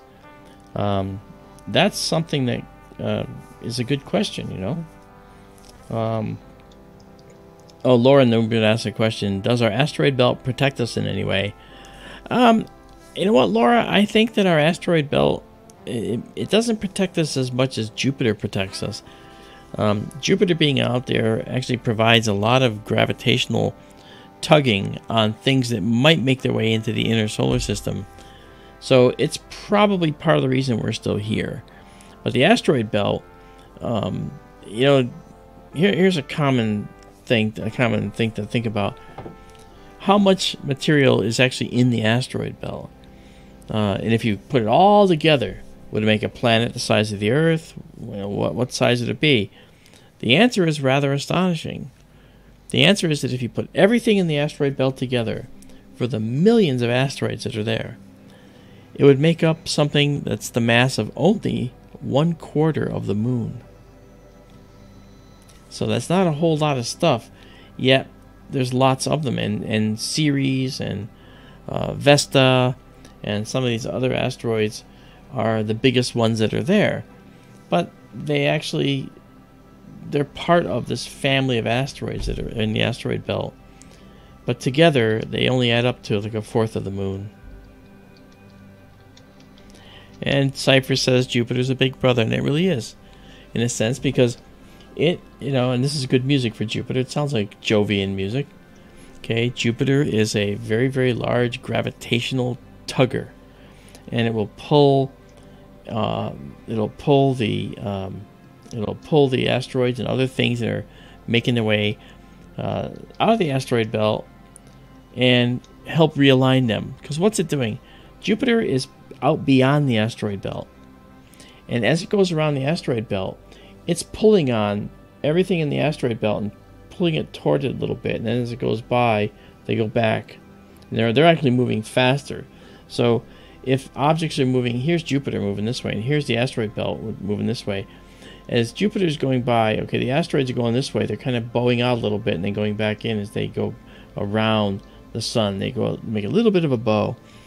And that kind of helps regulate their motions, you know. Um, but, you know, because Jupiter is so big, uh, it doesn't cause anything that could potentially destroy us. And that's something that uh, that we're very grateful for. Jupiter is there as our as our basically as our savior you know so oh yeah okay this is 15 stacked we're gonna stop here now and we'll say goodbye to the Veil Nebula for now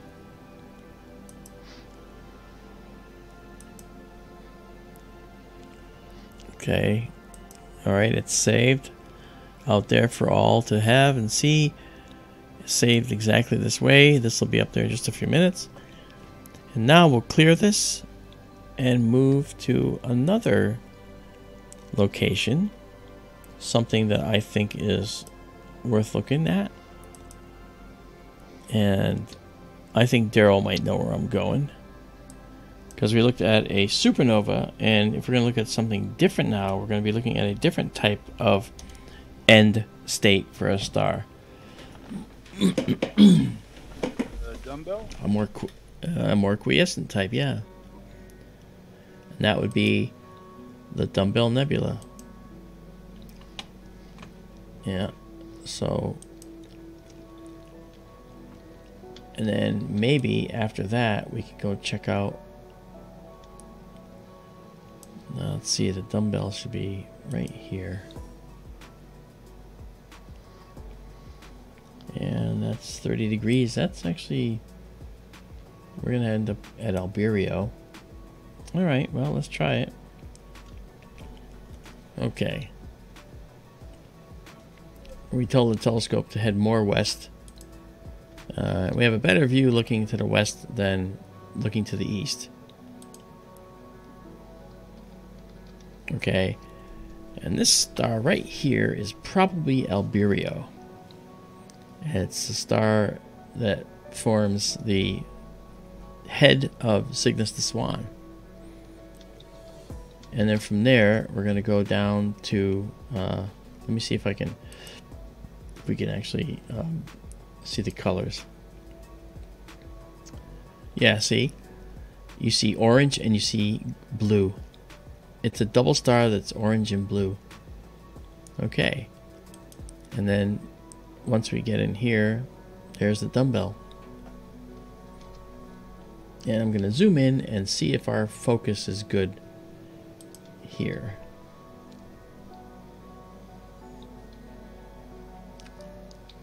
Yes, uh, Isabella, planetary nebulae will all eventually go away.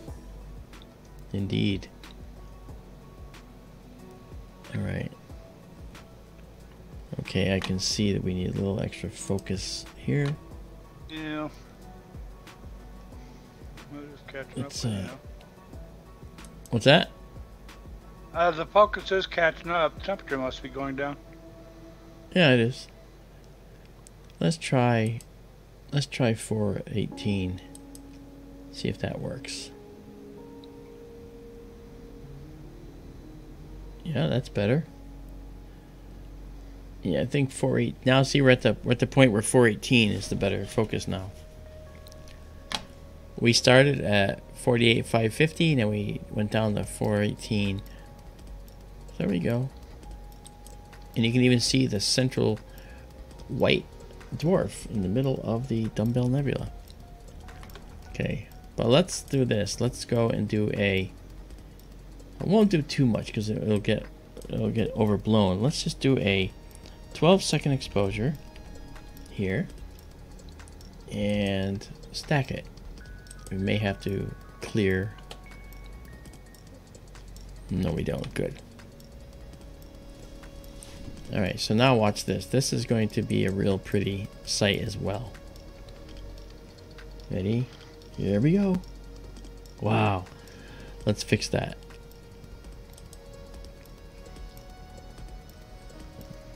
This will, right here, this is going to fix it. Here we go. Yeah, we're going to do this. Right. And bring it down.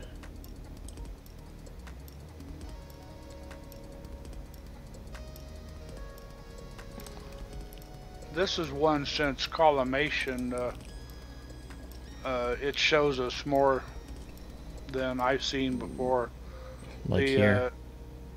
Uh, uh, there, but all the way around the thing, like over toward 9 Mhm. o'clock and three o'clock, or nine thirty and two thirty.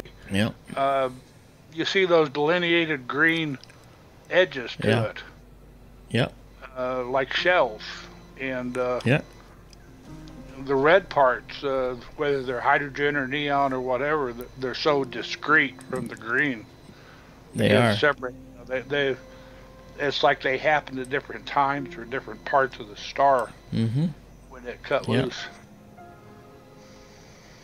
Yep.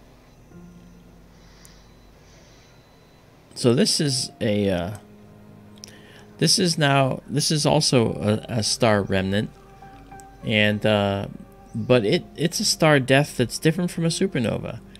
This is where the star has used up its nuclear fuels, and so uh, and see Daryl, there's gonna be more here. So watch. See if you look, you'll see there's there's additional stuff outside even that. Yes. See that? So this is uh, the Dumbbell Nebula here is really interesting because when the star uses up its its uh its uh, hydrogen, it starts to uh, fuse helium when it can, and helium becomes carbon. And if the star can't get much further than that, like our sun, then it starts to pulsate because it, it starts to fuse helium, and as it's fusing helium, the star begins to bloat and go really big. Um, the helium starts in a shell outside the core. And then it finally it comes back down and pulsates and as it's pulsating it's puffing off these shells of material. You can see these shells right here see? These shells are being puffed off they were being puffed off. And that puffing off is the atmosphere the outer the outer envelope of the star being released and let go. And when- it's done, the inner star, what's left in the core, begins to compress and, and contract down to a white dwarf. White dwarfs are hot and they're blue. And you can see these stars look kind of blue.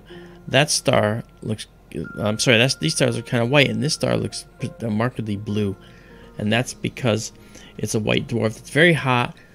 It has ionizing radiation that's causing the atoms of oxygen to glow green it's blue okay and the atoms of neon and hydrogen to glow red that you see here so it's really a, a very fascinating location i think it would be best if we drop it down in intensity a little bit actually it might be easier to see what's going on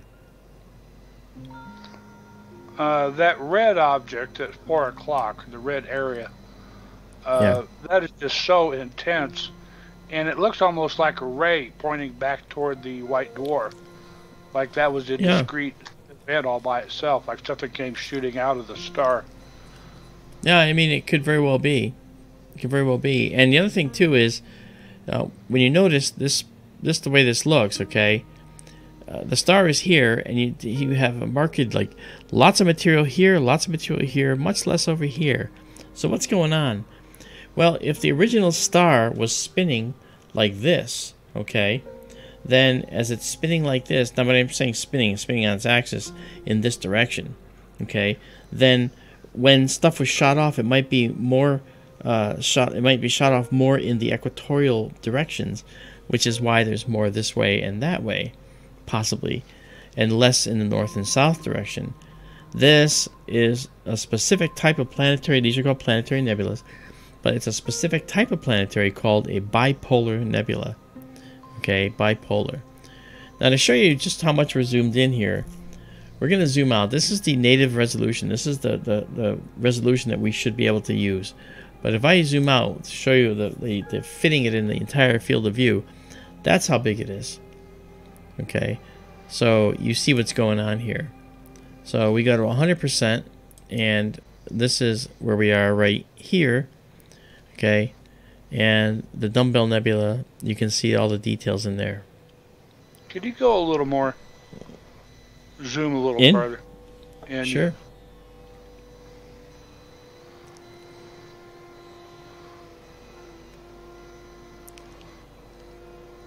What's the detail in there? Look at this.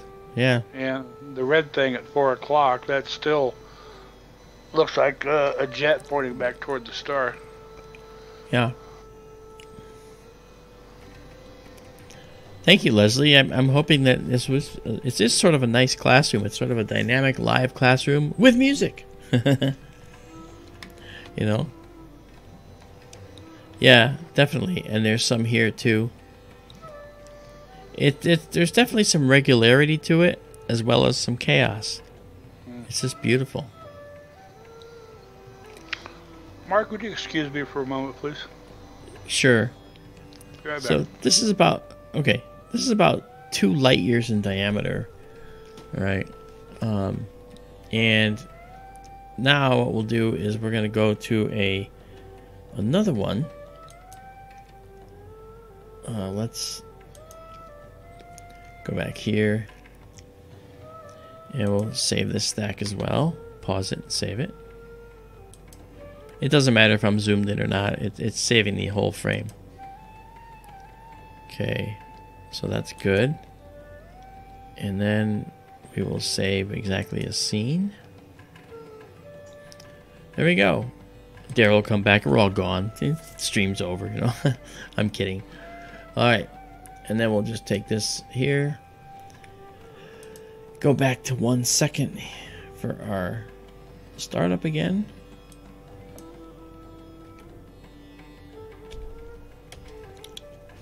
You guys might notice this music is different. It's all new. Alright.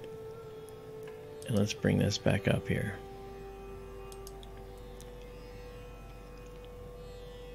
Mhm. Okay. There it is. This is our live view. So it's kind of cool, huh, to be able to actually have such a live view like this. We can just move around. I like it. Okay, that said, let's go check out another object that is in the neighborhood.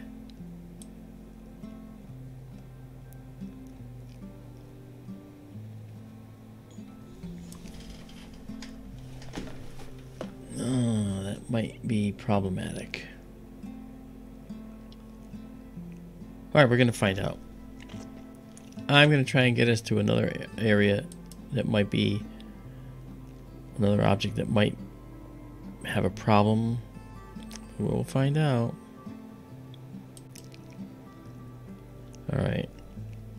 We'll do it this way.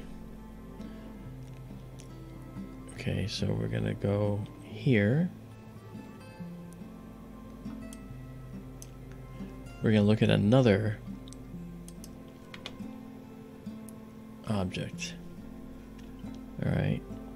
And thing we're gonna do is, I know we're at 20 degrees, but we might be able to observe this. So what we're gonna do is go north a little bit. Okay. And then we're gonna go west.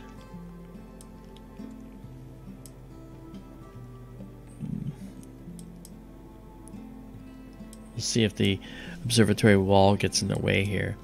Again, once we have the lifting piers, this will be a non-problem. It's for this type of object, in fact, that it's it's made for this. So, should we see it here? We should see it. And we do. There it is right there. Okay, so we're going to drop ourselves down. Even one second is too long an exposure in this setting. Um, okay, let's let's move the telescope over this way.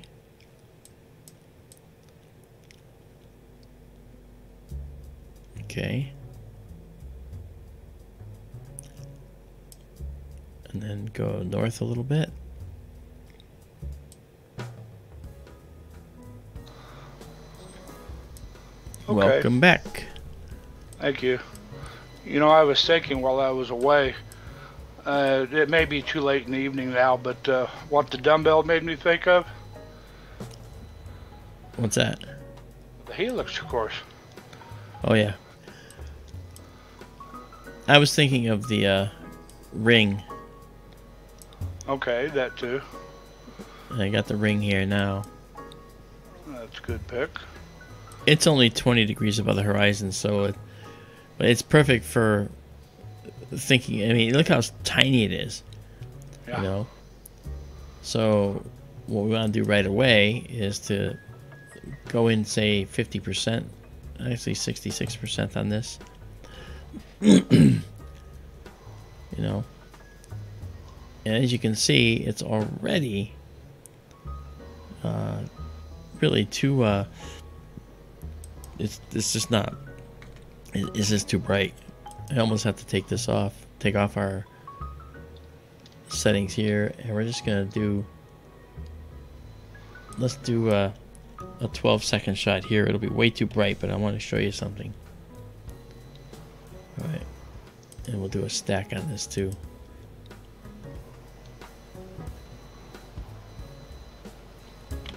All right. Yeah, it's gonna look like. southwest now. I think so. But we'll check it out. Okay. That's beautiful.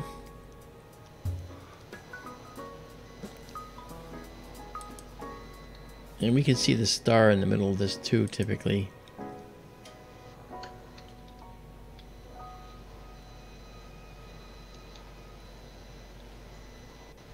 Uh, let me do an adjustment here. Uh, There it is. See, it was just being overwhelmed.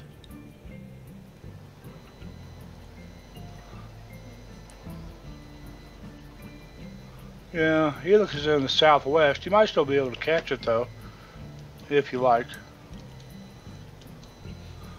All Show well, people, we'll check it out. show people three uh, showcase nebula, uh, planetary nebulas. Yeah, Takes time. yeah. All right, let's just do Ring's this. one of Let's my go. favorites. Oh, it's beautiful. I always loved looking at it in the eyepiece. Always looks like uh, looks like somebody blew a big sm- smoking cigar, or blew in a smoke ring out in space. Yeah,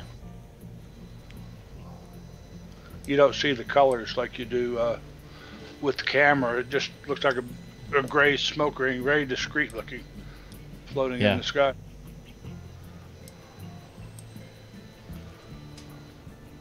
Plus, uh, the ring is so easy to find. yeah. Well, that's the Saturn Nebula.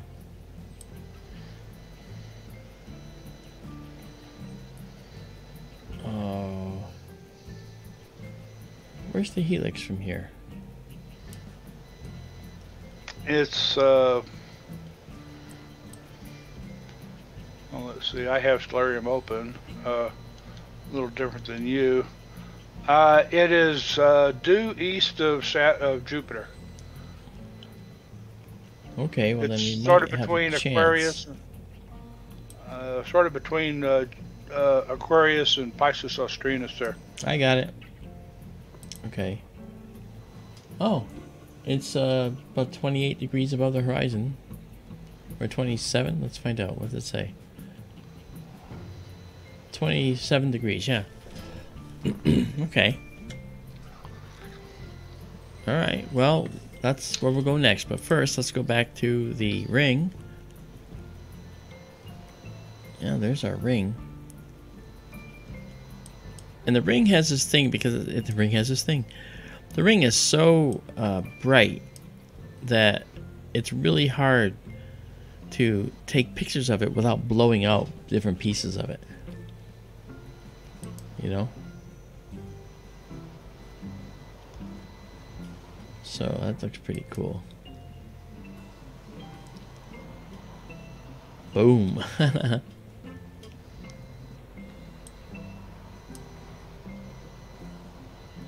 so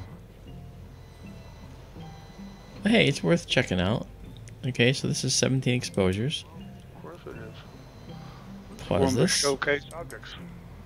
That's right. Alright, let's save. Now we'll do this.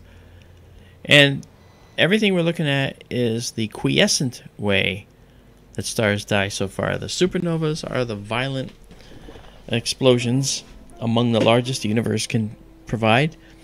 Now we're looking at the quiescent deaths of stars. We saw the dumbbell, we see the ring. Now we'll see another one that is the closest planetary nebula to us and uh, that is going to be the one that I think people will enjoy as well. And with the collimated telescope, I haven't seen this one yet, so it'll be beautiful. Yes. Can't wait to see it.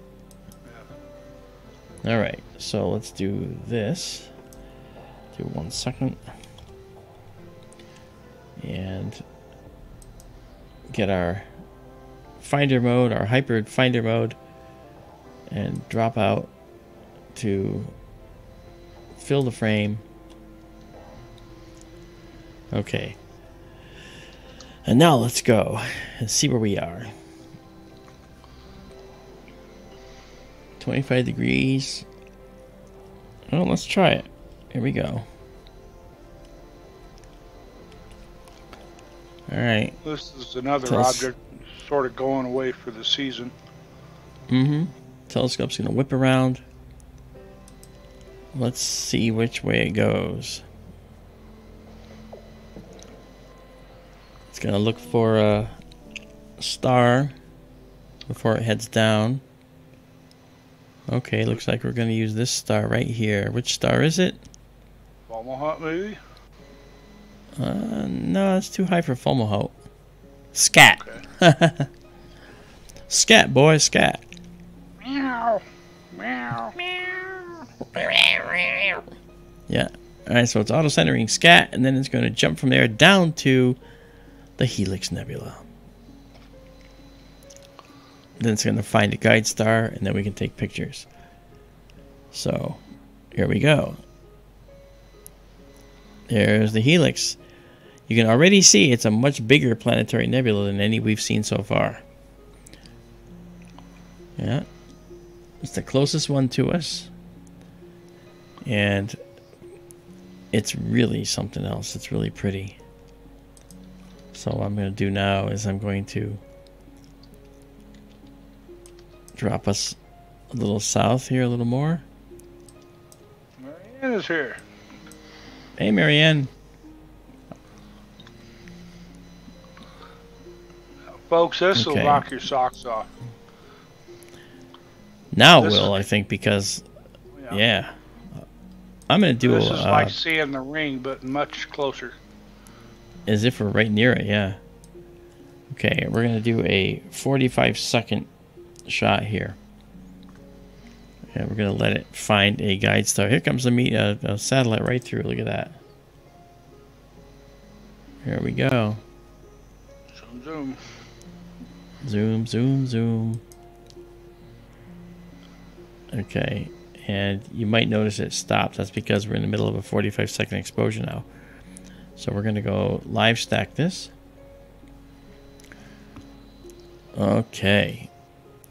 And this is going to be another one that's beautiful. So we're going to be ready for it. Here it comes. I'm so excited. So excited. 10 seconds away. Six, five, four, three, two, one, zero, and mm. Okay, it's just the beginning. Know, this one will really build up with uh, stacking. Yeah. And I can't wait to zoom in on this one. Yeah, this will be pretty. Let's do that. Let's actually let's first of all let's try and let's try and bring out some more detail. Ha. now let's get rid of the green if we can. There we go. Now that's looking really nice.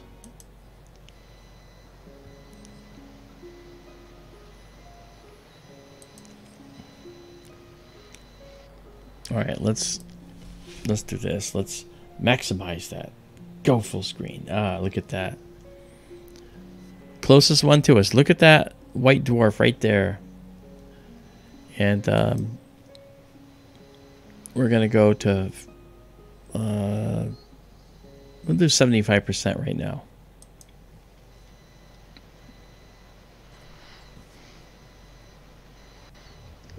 Wow. Sort of like an eye. Yeah. Sauron. The Eye of Sauron. Okay, and uh, I'd like to actually. I'm going to change the black level a little bit. The black level will set how dark the background looks, and it will help add contrast to those faint red arcs that are visible in this nebula. Okay, we'll As go Mark there for said- now. As Mark said, this is the closest planetary nebula to Earth. Uh, it's uh, it's in the southern sky though. Uh, um, it's so close to us. Actually, it's hard to see with the eye in a telescope. I've only seen Yeah, it it is. once through the telescope, and that was using a hydrogen beta filter, if I remember correctly. Otherwise, it's so dim. Sometimes people ask, you know, golly, can we see those colors out in space? And uh, distance helps, you know, because it helps kind of concentrate it all together into a smaller package that looks brighter for our eyes to see. When it's so close, it looks so dim that you can't even see it without uh, filtration. Uh, and the reason, of course, is because the nebula is so distended that you're not getting a lot of color per uh, square area uh, that's going into your eye, um, and it's it's spread out. I mean, look at the details we can see here. This is really pretty. All this this modeling you see is going to go away because as we uh, we've we've got five stacked. If we go to like 15 stacked, a lot of this noise goes away. And our temperature is uh, right now is minus 10 on the uh, uh, minus 10 Celsius.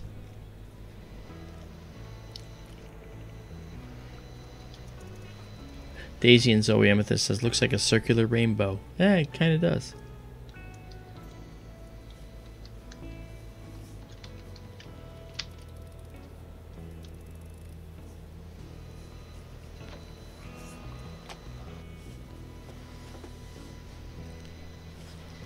Very nice. Yes, it is. Isabella did a good uh, example of this a while back.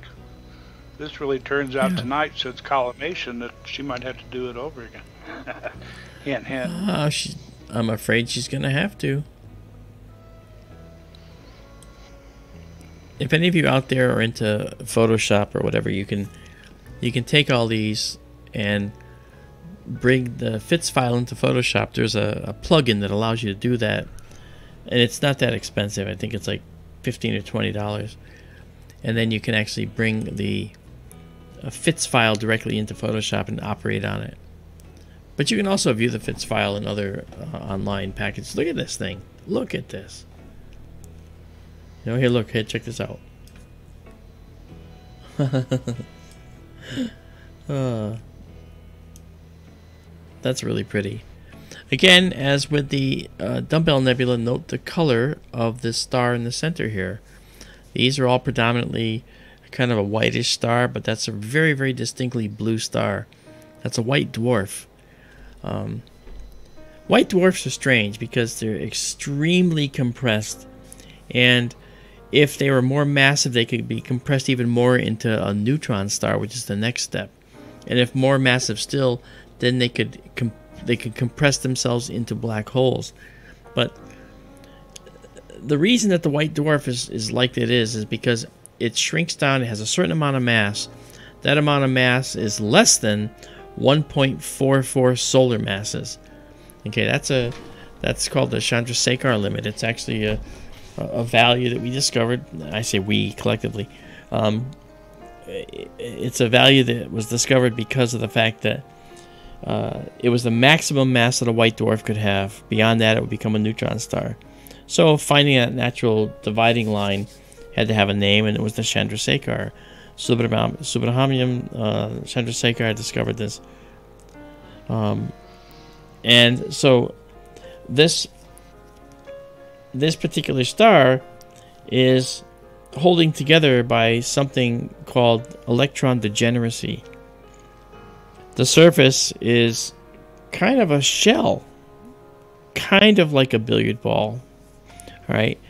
And it's extremely hot, has some pretty heavy duty magnetic fields generally, uh, and it will cause a lot of ionization because it's spewing out most of its radiation in the ultraviolet.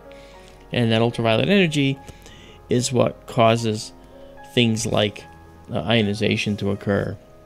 And what's ionization again? It's when the electrons going around an atom are uh, given uh, are, are gaining energy from the ultraviolet energy, and they actually go higher and higher and higher and higher until they go right out. Um, you know, uh, right off the atom. DD Sagittarius. Tara says hi, Marianne, Mark, and Daryl. Is DD Sagittarius uh Tara? Oh, maybe it is. That's interesting. What I find remarkable remarkable about that white dwarf there uh, Yep. How close is the helix? 150 light years away, or something like that. Yeah, and the white dwarf's like the size of the Earth. Uh, oh yeah, and we can still see it. Yeah. That's, that's the mass of a star packed down into something as small or smaller than our planet, and we can see it that far away. Mm-hmm. Yeah, that's how hot it is.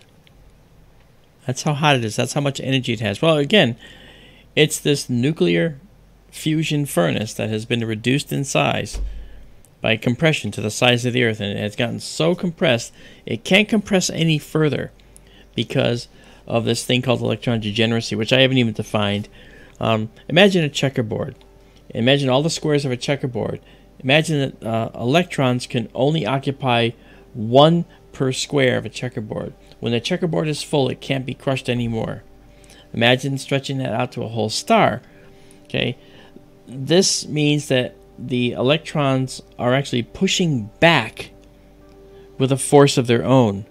And so, what we're talking about is little more than what we call electron degeneracy. It's actually electron degeneracy pressure. And that's what's keeping the star uh, intact, right?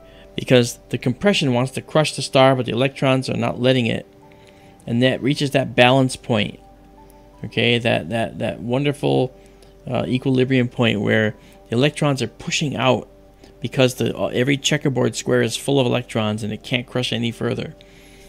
You can crush further if mass gets added to the star. And if mass gets added to the star, a couple things can happen. You can actually end up with uh, a catastrophic explosion of the star, or you could actually end up getting a further collapse, which sends it into a neutron star state. And what's a neutron star? Well, a neutron star is uh, a star that has neutron degeneracy pressure, and that's what holds it up. So, electron degeneracy, neutron degeneracy, okay, and beyond that, it's black hole territory, and then all bets are off. You know? Yeah, the uh, electron degeneracy pressure uh, no analogy is perfect, but you might imagine it like trying to uh, push two repelling magnets together and trying to overcome that uh, mutual repulsion between the two. Yeah, and that's that's kind of like the electron in each square of a checkerboard. You know, with with you know trillions Yeah. of checkerboards across the whole star. You know, you can only have one electron per square. You can't put two in there because of that repulsion type of thing. Because remember, uh, they're all negatively charged, so uh, they're going to repel each other. They're not going to be uh, they're not going to be attracted to each other. When you get to the neutron star state, well, all the additional mass that you're compressing everything together with is enough to overcome that electron pressure, and you're actually forcing the electrons down onto the protons. And the electrons and the protons combine and make neutrons. hmm And that's a lot of There's force. a there's a lot of force. There's a lot more to it than that, but yeah, that's true. Yes, there is. I'm Yeah. just trying to keep some. Yeah, no, that's fair. That's good. So, Dee Dee, Sagittarius, um, you're with Terra, is my guess, correct? And you're flying into Reno? I'll find out in a second, won't we? If they can hear this. I don't know if they're hearing us. They might not be able to hear us. That's okay. So yeah, we've got uh, 16 stacks so far, and look at the noise is, is is going down now. We're losing it, and we're getting gorgeous detail in here. And look at this arc is now forming nicely. We're looking at this; it looks really nice. Hey DK, how you doing? Wow, it's looking pretty. I mean, look at this. This is gorgeous, isn't it? I mean, look at that. Wow. Can Ah, you uh, start zooming in more on it now? Maybe at about the 12 o'clock point out in the ring around it? See the Yeah. details of the cloud? yeah, let's do that. Oops, sorry.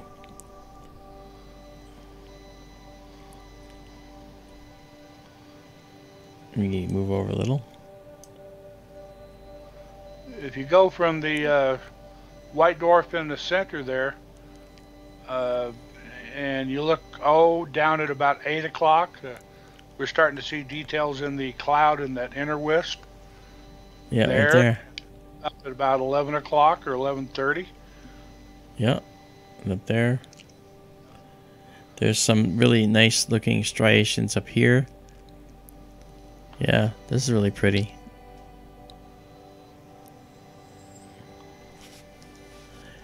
I'm going to actually try something else too. I'm going to reduce the enhancement a little bit because I think that might be crippling us a bit.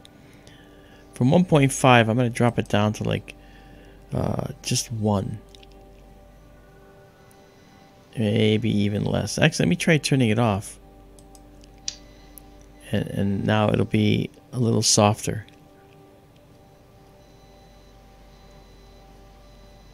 That's interesting though. Okay, I'm to put it back on.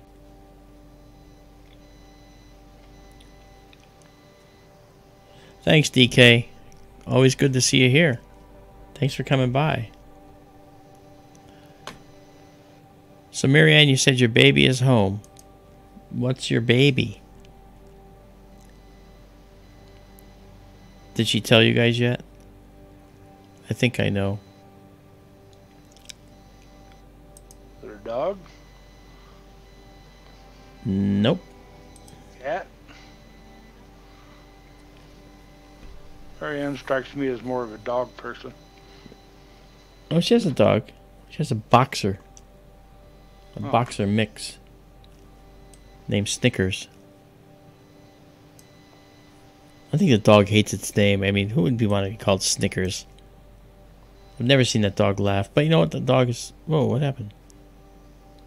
Oh, I see. I see what I did. I popped out of the live stack, but it's still there. I accidentally closed the live stack, but it's still there. And still stacking.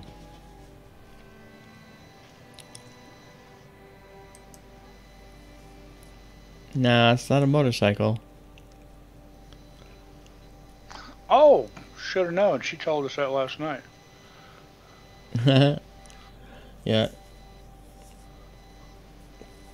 I was just letting other people make uh, see what they were gonna do, see what they say. Okay. Yeah. This uh, this stack looks nice now. Uh, let me get out of here. Let me zoom back out. This is as far as I'm going to go for the uh, zooming out, and I'm going to do is because I want to point out something else that's happening here in this image.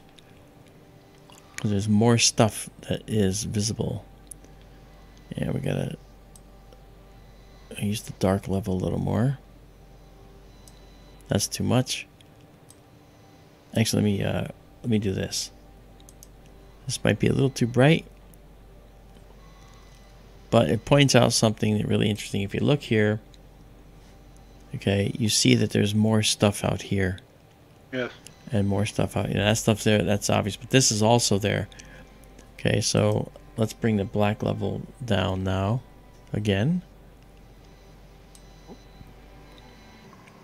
Uh, when you see that outer part at upper left, and Yeah. in the inner part, it has almost kind of a corkscrew shape, like uh, pretty evident the star was spinning when it was uh, This here. losing mass.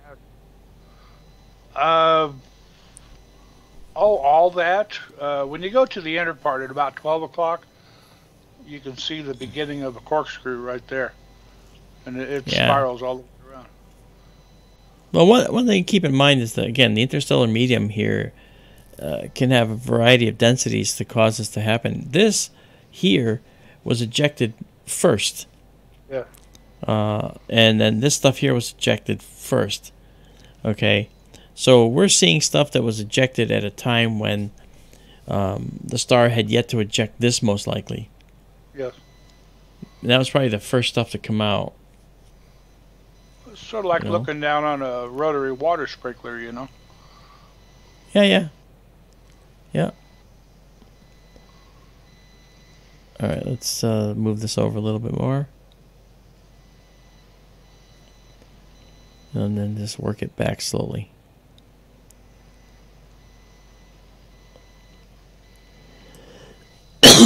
Now, take this one. Work it down. okay.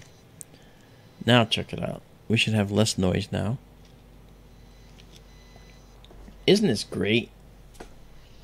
You can actually see more of radial radial details in here now.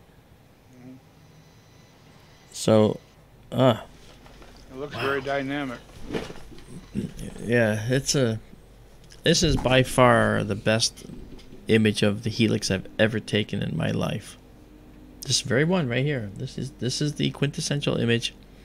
Look, you got a tier here of stuff. You have a tier here of stuff. You know, that's really really exciting. You know. Oh, yeah. All right, we got 19 stacked. I'm going to resume here. Look at that. This is another that I know you've talked about, you know, the real shape of various planetary nebulas before. Uh, that this may be like a barrel shape that we're seeing sort of end on. Yeah, I, I,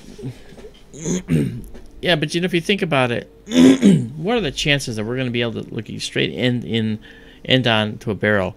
I think there's more to it than that. I think that, I think that, as I've said before, this is a spherical, predominantly a spherical outburst on all sides. And if you look at my fingers, you can't see through my fingers on the edge, but you can see through them on the ends. Okay? And I think that's why it looks thicker on the edges because we're seeing through more stuff. And I think Of that's course. what we're seeing here. Yeah. I think that's what we're seeing. Hey, Luis Rodriguez, how are you? Lewis has uh, properly called out the the uh, dead pixel star up here. Well done. Well, well, good eye, good eye. yep. Look at that. That's just something.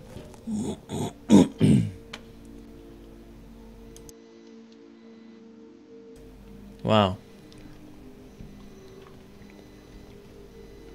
Yeah, the blue stripe, the blue object right there. I think you're talking about Lewis. Upper left at the edge of the nebula. Oh, that's the green. Yeah, see, that's the green dead pixel star. that's actually not a, a, a, dead pixel. That's actually an artifact. Um, and as the as the telescope is correcting, we're getting these things to walk a little bit over time. You'll notice that the blue one looks identical over here. It's doing the same exact path, same exact thing. Uh, you'll see red ones too. I mean, but I'm just loving this, Daryl. This is beautiful. Look at the detail. We can start to see now some of these details in here that you really see with only the bigger telescopes. These Yeah. are radial spokes. you know, these radial spokes, and I just can't get enough of this. My God. Uh, those spokes uh, uh, in uh, observatory, uh, professional observatory images, uh, I think they call them cometary globules or something like that. They're not really Yeah, comets. yeah. uh, they sort no, of look they like just comets. yeah, You can yeah. see them uh, sort of like a fringe all the way around the inside of it. yes, sir.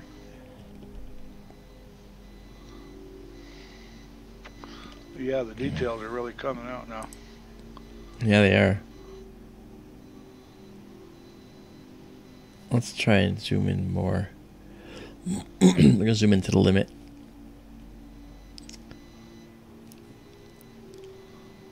Yeah, see this this color modeling is gonna go away because we can, we correct for that. Um, this is a dim planetary nebula too, because it's so distended and big that you don't really get to see too much of it.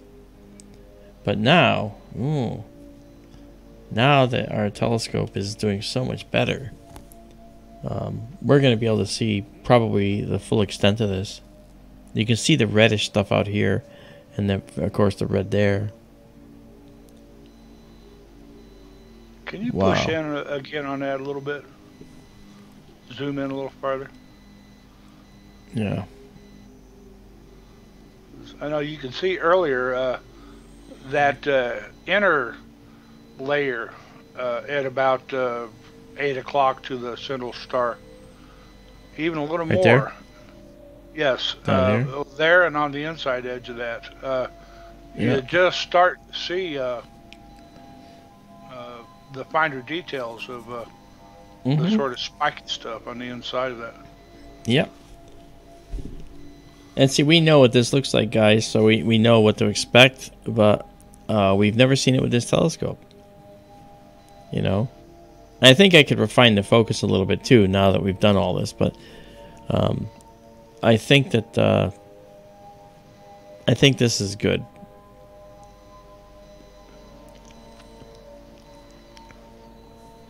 You know? Here's what I'm going to do. I'm going Put Right to at six o'clock. see what. Oh, one Uh, of these. that right there, yes.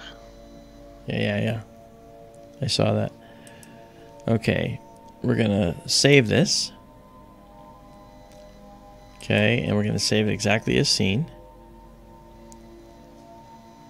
Okay, and then we're gonna clear it. Now you're gonna say, "What are you doing that for?" Because what I'm gonna do is I'm going to get out of this. Go down to one second.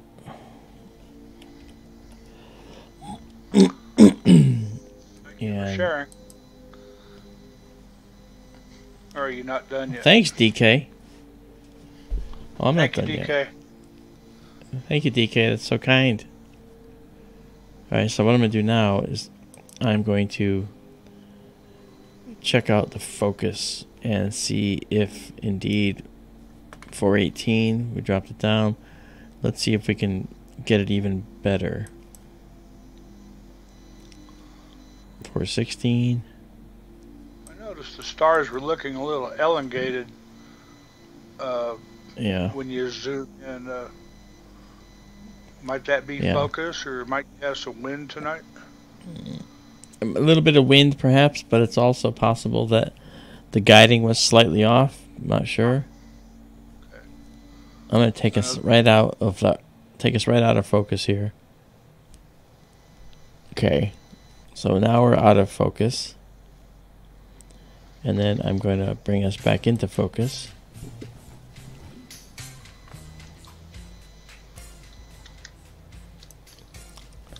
Okay.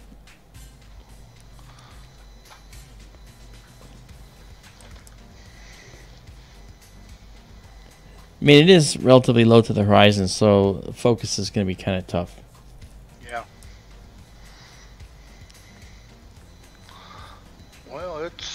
It's another one that's westering. It's dropping, and it was already Yeah. low to the horizon and uh, past its prime for the season, I suppose.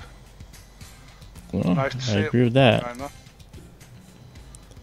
Yeah, and we saw it better than we've ever seen it. Okay. Yeah, actually, I think that we were as focused as we could get there. Hey, thanks, Science Bob. Thanks for checking it out with us. Okay. So, um, let's go back to auto here. Boy, where's the time go? We're in here two hours, 16 minutes already. Okay. Well, that was good. So if you look, uh, well, let's pop out of here so we can see where the telescope is. You'll notice the the coloration here. Uh, we're actually probably impinging on the wall a little bit, which is why we're getting this little bit of coloration. Again, once I have the lifting columns, we'll be like 20 inches higher, and it won't we won't have any problem. Um, okay. So we saw a supernova. We saw three planetary nebulae: the Dumbbell, the Ring Nebula, and now the Helix.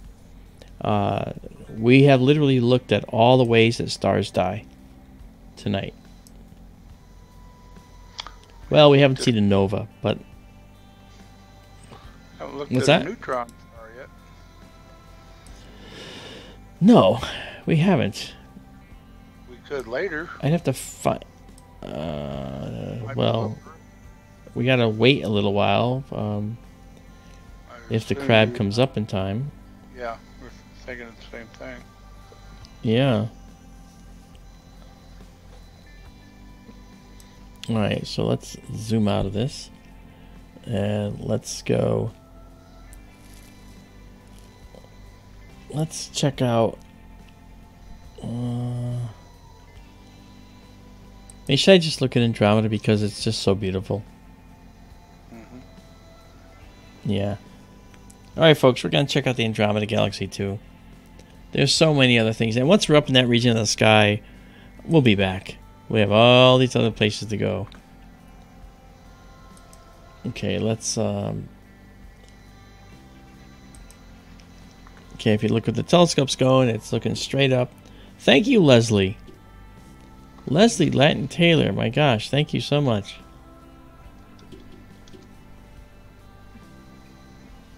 That is just so beautiful. Thank you very much.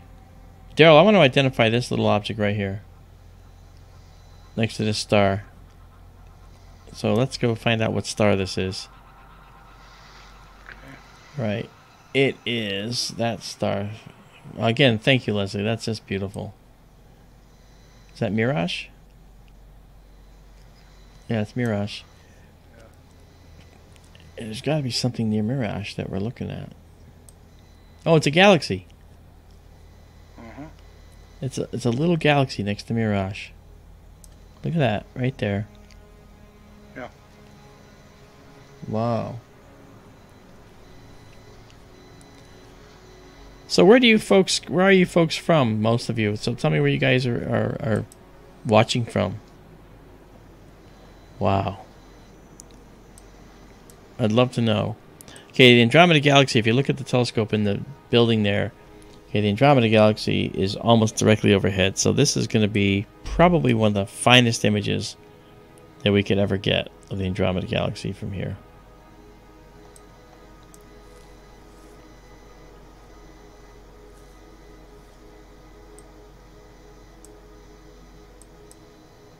Here we go.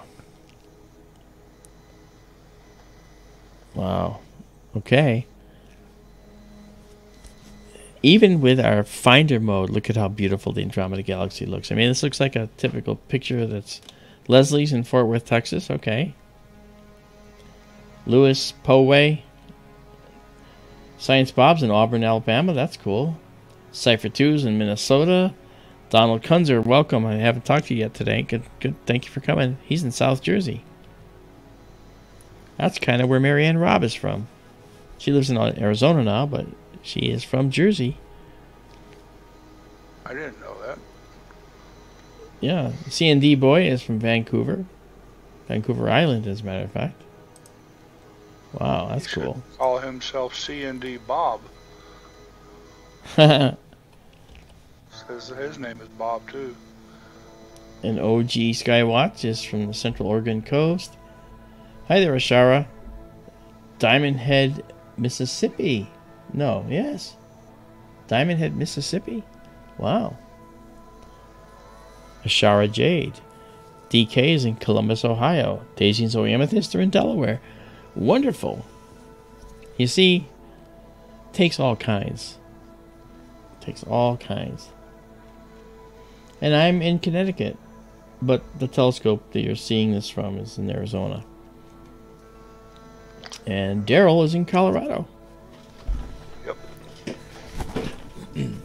yeah. I was just in Colorado.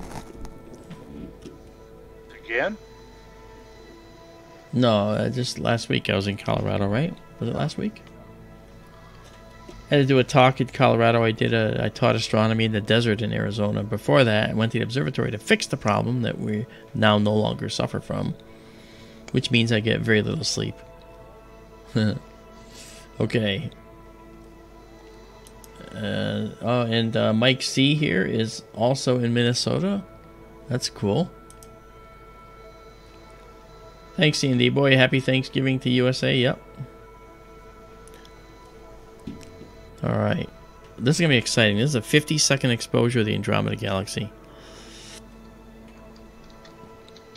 if you look, okay, a lot of people are from crazy places, you know. I mean, we have, uh, hey, uh, Rascally is here. Hi, Rascally.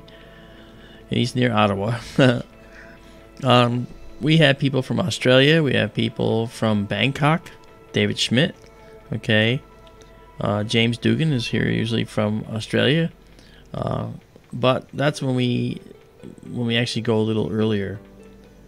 Uh, unfortunately, he can't go. Um, he can't uh, watch us at the time we're doing now because we're basically on the West Coast hours now. You know. Look at that. There's the Andromeda Galaxy. Uh, we're gonna correct it. Look at this. Look at this. You tell me. Worth the wait or what? Huh?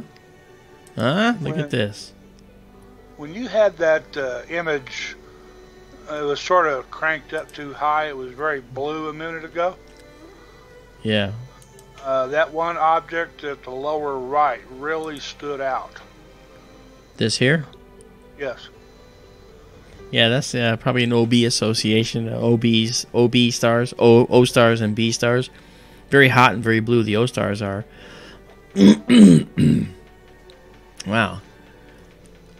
And this is just stunning. Let's um. Let's try something here. Um, if we were to bring this up, if we were to actually, uh, let's dare to undo this for a second. Undo that color change and then set a color balance uh, that's not gonna work maybe this will do it that's what we had before well let's just increase the blue and anything that's blue is gonna stand out a little more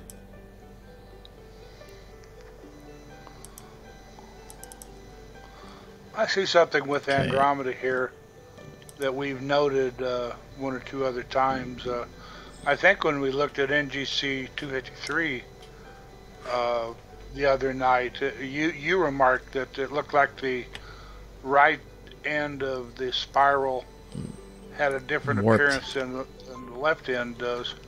yes And kind kind of see that here too. Yeah.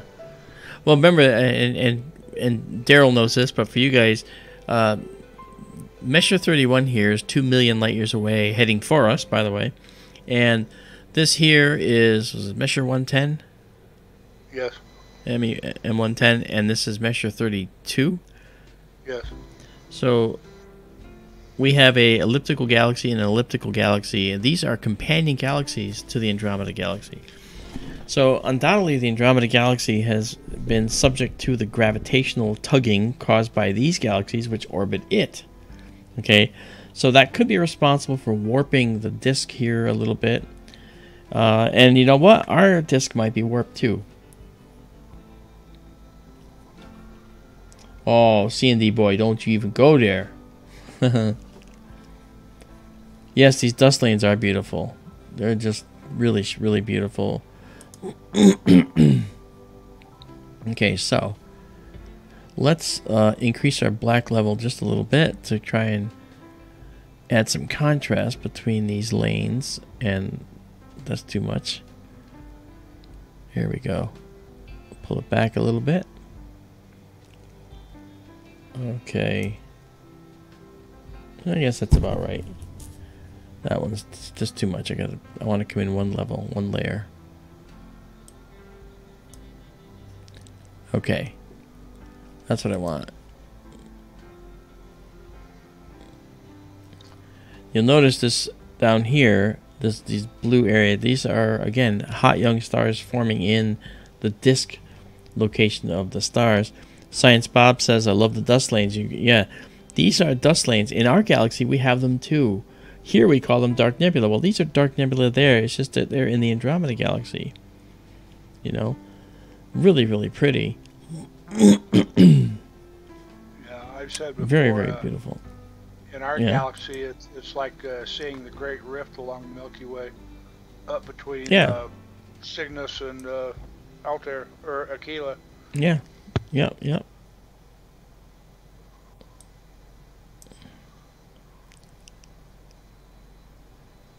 When we see uh, might be a little- M32 and M110 there, you might say they're kind of analogous to uh, the large, small Magellanic Clouds uh, satellite galaxies to uh, Milky Way. That's right. That's where I was going with that before. I didn't finish the thought. But if you look here, you can actually see this this blue area now a little bit more pronounced. Okay, there's a similar one up here Uh-huh. in the galaxy, and a similar one right here. You know, I think uh, Messier 33 is going to be just as spectacular tonight. I think we should image that too. Oh, yeah. Jesus, just beautiful. This is only seven stacked images. Yeah, we're in the neighborhood. In fact, those two galaxies probably have interacted, which is also a reason why this this disk may have some kind of warp to it. Yep. Um, And why we see so many H2 regions in M33. That's right, because it may, the Messier thirty one here. This star, this is a massive island universe. Okay, and we probably have about a trillion stars in this galaxy, compared to ours, which has about 150 billion. Okay, so nearly 10 times, you know, as many stars as we have. So we're subject to its gravity. It's not subject to ours in terms of whether it's destructive to us. Um, it won't be destructive to us. We'll pass right through each other, but we'll get we'll get worse. We'll get the worse for the wear for it. Um, but again, it's not that not going to be that big a deal because we won't really uh, feel anything tremendously different. I mean, we're going to be just fine. The stars are so far from each other that they will literally pass through each other. Now, new orbits will happen. The, the structure of the universe, I'm sorry, the structure of the galaxy will change. But it's definitely going to be a very interesting time. Gosh, I'd love to be around for that. When you see, uh, See, when we zoom in here, see this right here? We got some very, very subtle dark lanes here. Um, and if you notice, right here, guess what that is? H2 That's an. H2. It's an H2 region in the Andromeda Galaxy. Yeah. Yeah. So, and we see some beautiful star clusters in here. Individual uh, stars can also almost be discerned here, um, which is kind of cool. Again, uh, I think this is the best image of the Andromeda Galaxy we've ever seen here. I just can, think uh, it's the best one we've can ever you seen. look at uh, 110 up there in the upper right. Yeah, just a second. I want to come down to this OB association right here. Um, but we'll come back down to that, yes. We'll go up to it, I mean. Okay, so if you look, this is the quintessential hot young star formation region. Look at that. Yeah, we can clearly see hot young stars forming there. I mean, we are now in the galaxy. For all intents and purposes, we're in the galaxy. And we're not even at full frame right now. If we want to go even farther, this is 100%. This is the native resolution of this camera. You tell me, it ain't bad, is it? It's really good. You know? Would that So there you can see all these stars. Younger or older than that H2 region we saw? H2 region was Uh, first. I would think that this, uh, well, the H2 region is made by uh, young stars, but the OB stars, the OB associations, are generally a few million years old. You know, they're generally a few million years old because you've got an awful lot of hot young stars forming. O and B stars don't last very long; they last a few million years to a few tens of millions of years, as opposed to the many billions of years that our stars, our star lasts. So if you look at this, it's crazy. It's just beautiful. You know, I'm zooming in now. We're at 125%, 150%, and Wouldn't as we get in more, look at this. Wouldn't it be fair to say that the H2 region was the nursery and that the OB association is preschool? You know, that, that the stars, the kids have been born, and after they left the H2 region, that you get the OB association. See Well, they, they may not have left the. Yeah, yeah, it, that's correct. But you may not have. well, you may not have actually leave, but I left. mean, it turned into the OB association. Right, right. Because here's more H2 regions right here, okay? Right here. This guy right here has an H2 region in it right there. But what's funny is I can't believe I'm seeing all these things. But what's interesting though about this, and of course we have an artifact here from this is the traveling uh, pixels that happen when we have the, the thing is guiding. Um, that one dead pixel can translate to a string of them. Um, so these stars are so hot and young that they have very very powerful stellar winds and those stellar winds will push away gas and dust from which they formed so only a certain number of these stars will form before they start dispersing their own nebula okay look at this h2 region right here look at that beautiful thing wow okay now let's go up to your m30 i'm sorry m110 up here That OB association Look at what that. stood out so much uh, yeah on. Now, one thing about these guys is there's very little gas and dust in these. Okay, these elliptical galaxies have very, very little gas and dust. I do see a weird shadow here and here, Yes. and I'm I'm wondering what that is. I wonder if it's actually uh, some rare dark nebula that might be in there. I doubt it though.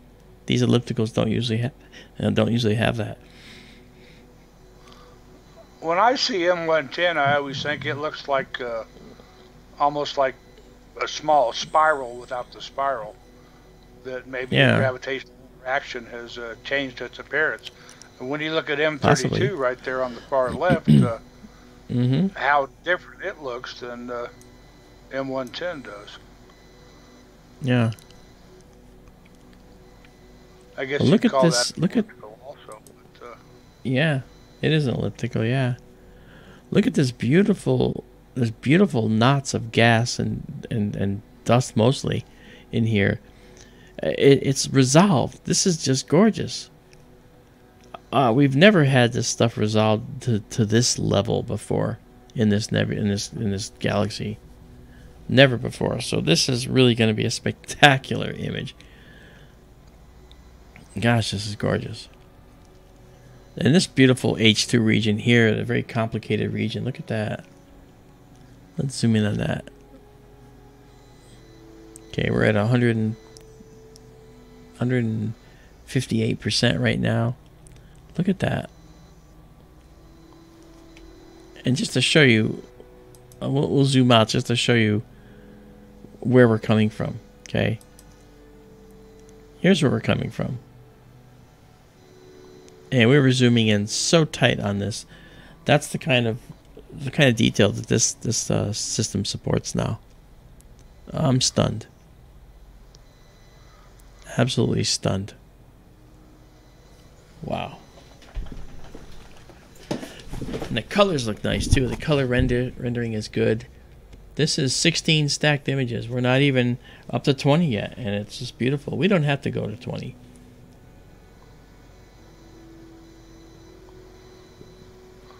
Uh, That gas region that we're looking at is probably 2 million plus light years, uh, CND boy. That whole I'm sorry, go ahead. End of the spiral there on the bottom right, that just really jumps out now. It does, yeah. It does. And now that I'm not concerned about zooming in, I mean, look at this look at this blue these these blue stars in here. Extremely hot. Uh, no, Science Bob, this is the 294 MC Pro camera that we're using. That's the ASI 294 MC Pro. Okay, so resolution here I'll show you uh, is under capture and format information. If you look here, you'll see the resolution. Okay, it's 4144 by 2822. Just beautiful.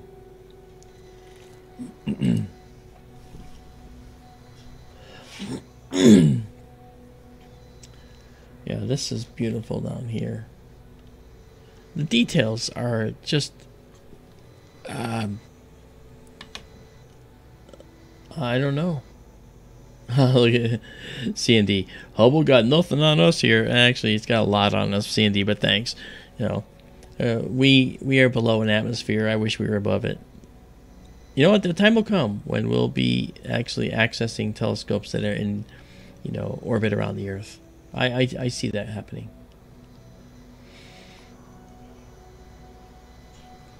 Ooh. God, that's just beautiful. That shows too again what we said that when you look at the center of Andromeda, it's much yellower than uh, the outskirts, like that that lower right uh, end of the spiral Yeah. arm.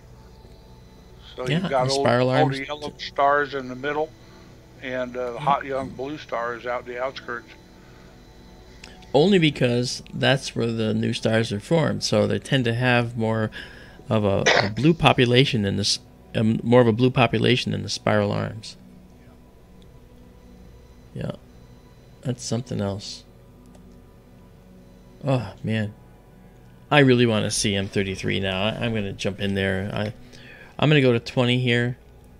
Um, uh, this last one, and then we're gonna go to um, uh, Messier 33 in Triangulum. That's a, a, a more open spiral. I think it's going to be stunning tonight. Look at the sky. Look at this sky. This is absolutely beautiful. The best we've ever seen Andromeda. The best we've ever seen it ever. Ever. Okay, 20. Wow. I just absolutely love this. This is phenomenal. Okay. The stack has been saved. And then we're saving this exactly as seen. And that's been saved. So now we can clear this. I know. Seems sinful to clear it. But we're going to clear it and go on to Messier 33. And then you'll forget all about Andromeda when you see this one. Okay. Um, let's go down and grab a one second exposure. We're doing 50 seconds too. We're going to do the same thing for Messier 33. Hey, Ronald. Ronald's here. ERRT Radio on Mixlr. Beautiful. Okay. I'm glad you saw the Andromeda before we uh before we went on. And now let's go let's see how high Messier 33 is. Okay, 33 Let's Messier 31. And 33 is going to be right near it.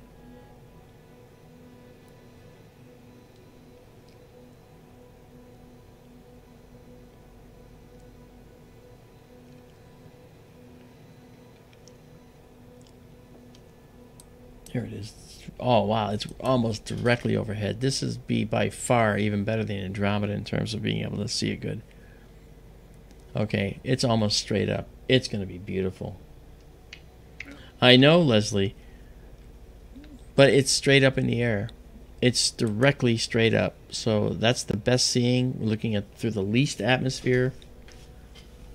So this is going to be the if if if all goes well, this will be the best version of M33 we've ever seen ever. Nearly at the zenith. It's literally almost directly overhead. Ronald says hi. Yeah, I said hi. Hello, Okay. Ronald. And there's that little galaxy right next to uh, Mirach right there. That little tiny galaxy. I mean, that little tiny galaxy is just a, a waypoint for us, you know, in terms of finding this um, other galaxy. But imagine how much life might be in that galaxy. I'm just astonished by that possibility.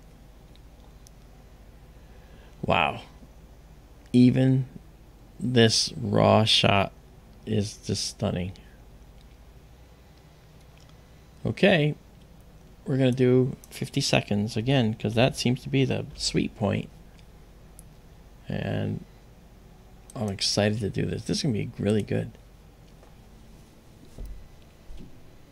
Oh, yeah. Okay, so let's check it out.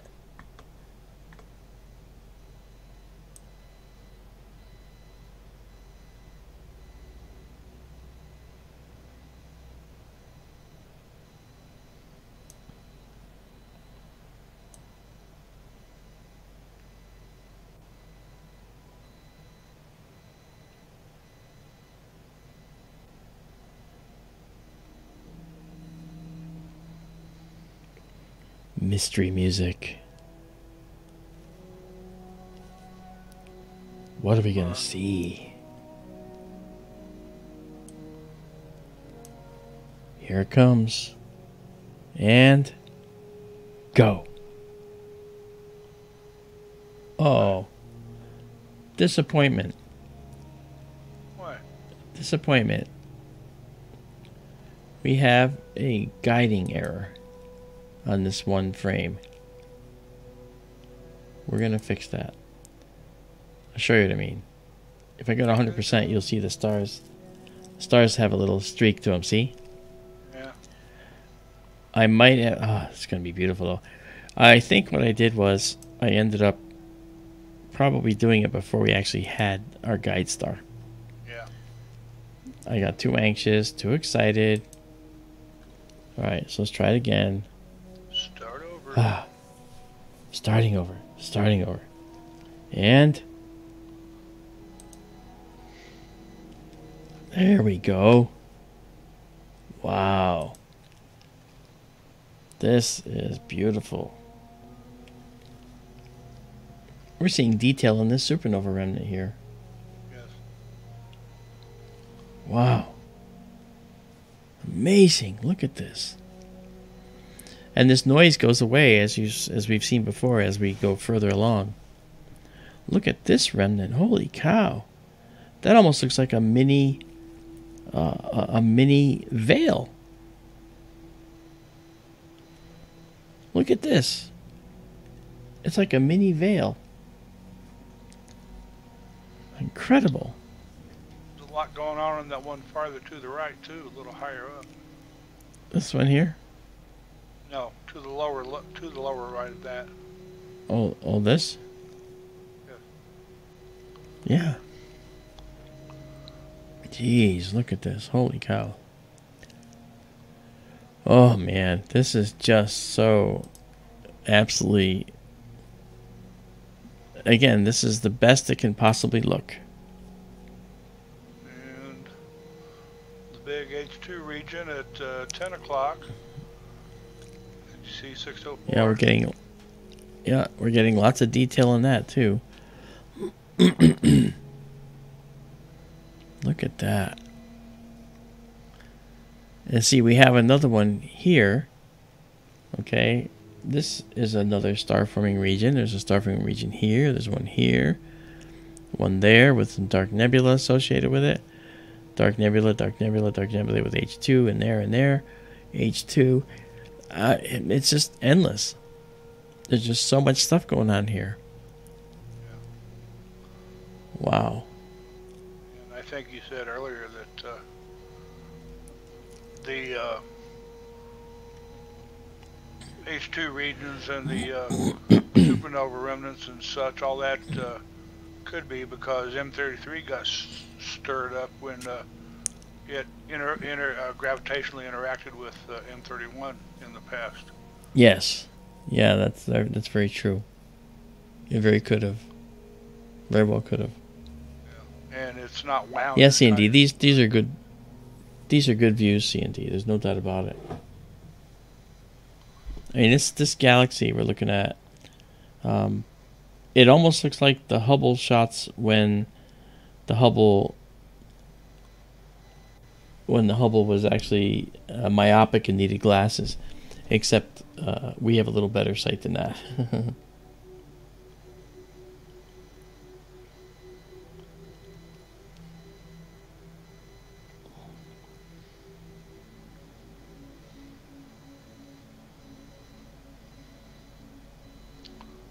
Yeah, the uh, green blob on the right, supernova remnant, I guess. That thing must be huge. This one. Yeah. Yeah.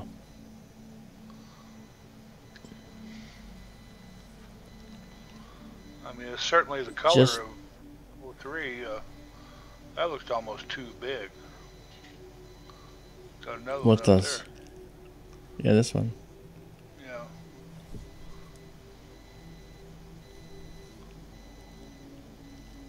I mean, look at look at the detail in this guy here, and and in this here. Look at this this modeling detail. This is just crazy.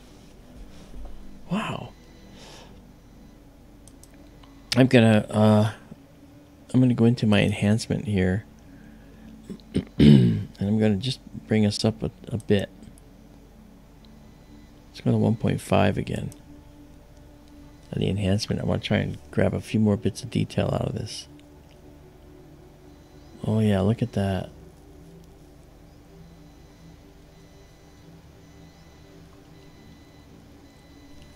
Uh, Ronald, if you're talking about just the overall color, everything that's blue in this image is a star uh, at its tiniest.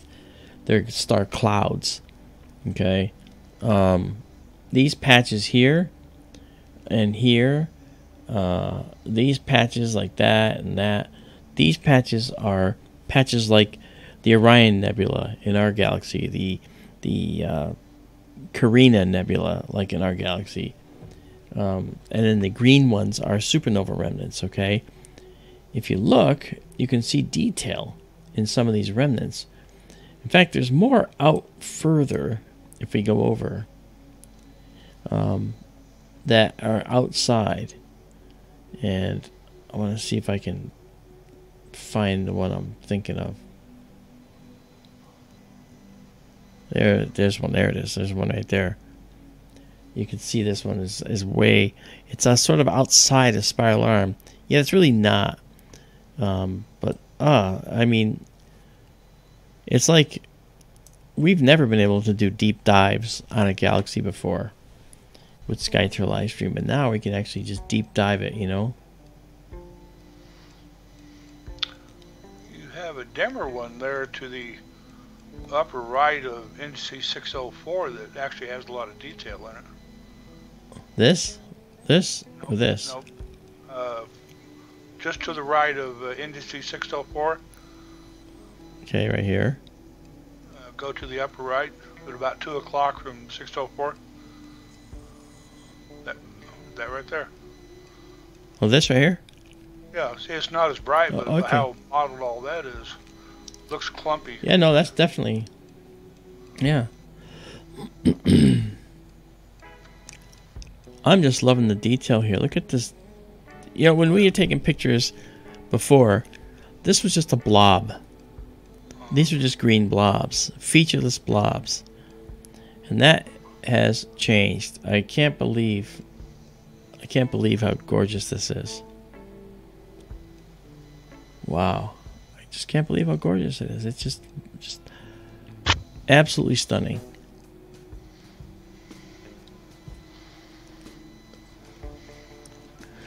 And as you see here, this guy here, this is a remnant at the very end of a spiral arm. And then here, an H2 region at the very end of a spiral arm.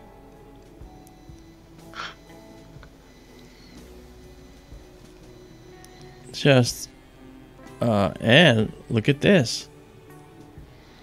That's an odd looking thing. That looks like a, looks like a definite, almost like a supernova, uh, a shell. Yes. But it may not be. I have to. I have to check that out. I have to find out what the name of that is. The thing is that this galaxy has so many interesting things in it, guys. That uh, many of these are named. You know, like as Daryl said, NGC 604. NGC or New General Catalog objects are only usually used uh, in, for naming things in our galaxy. You know, clouds of gas, clouds of dust, and all that stuff, and H2 regions. You know, stellar nurseries. But here we're doing this. We're calling these, we're, we're naming these things too. Things like this right here. You know what that is? That's a globular cluster. That's a globular cluster. That's a globular cluster. These are globular clusters in this other galaxy. We're seeing the globular clusters. We started the night with Messier 2, the globular cluster. And we're seeing more of those globular clusters in this galaxy as well. Absolutely astonishing. I'm going to find and post a link to an APOD from a while back. I think I've shared it before. It uh, Okay. it's a close-up view of M33 and it identifies uh, like 20 different uh, objects inside M33. Yeah, we should actually have it side by side here. Really stunning. I want to try and do another enhancement. We're going to go to 2. 21 objects.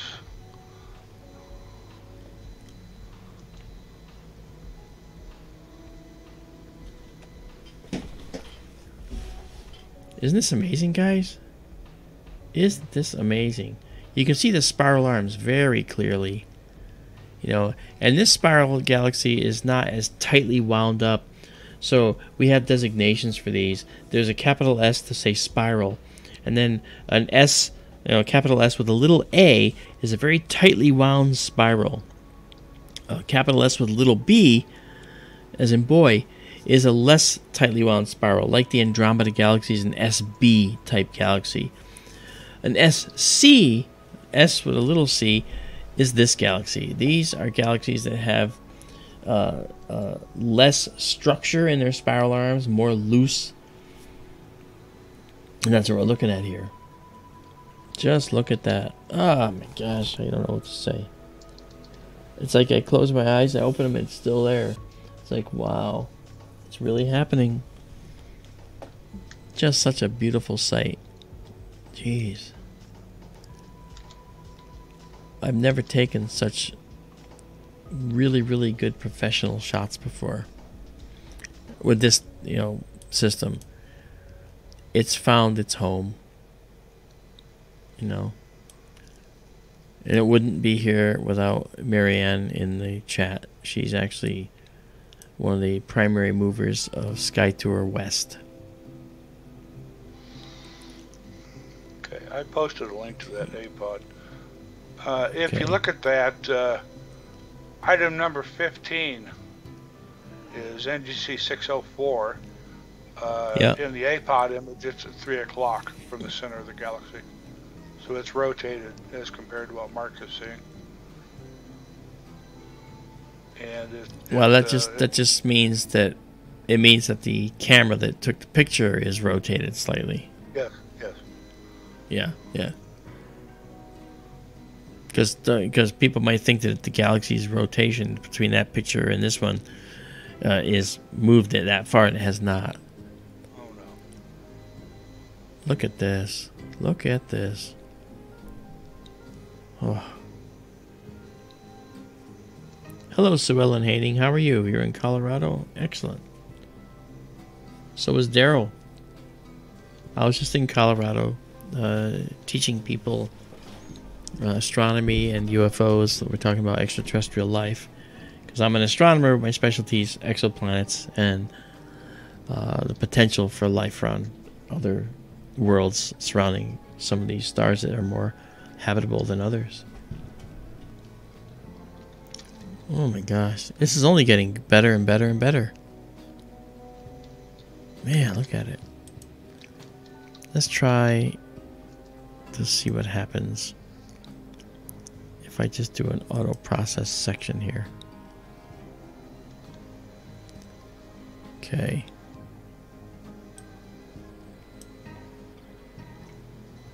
Hey Timothy Cook, how you doing? Well, thanks for coming out, man, and thanks for hanging with us. You have a good night. I can see it's time for your bedtime. Yeah, I get it. Um, mine too.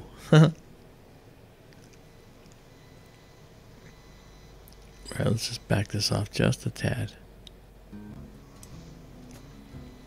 Alright, let's see how that looks. Wow. My god. Ah.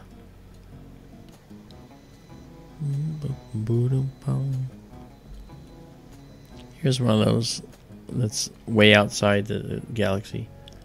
Of course, it may not be outside the galaxy. If I can just bring the black level down, you might still see where it goes.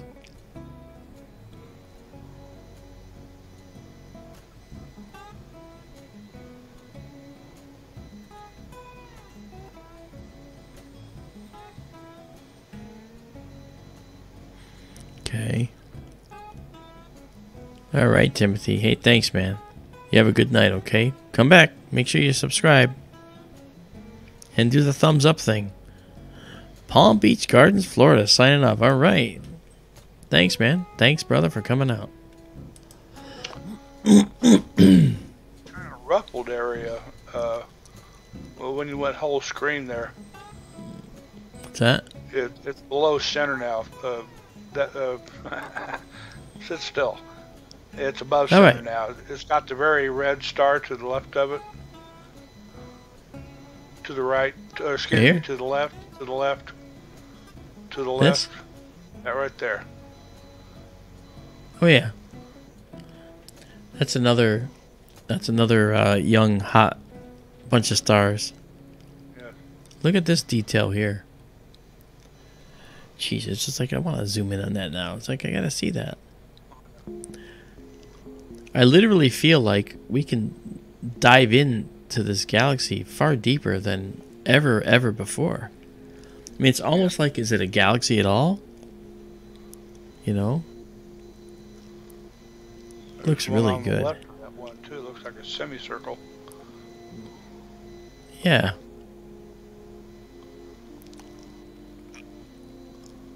Look at this rich area right there. That just ah.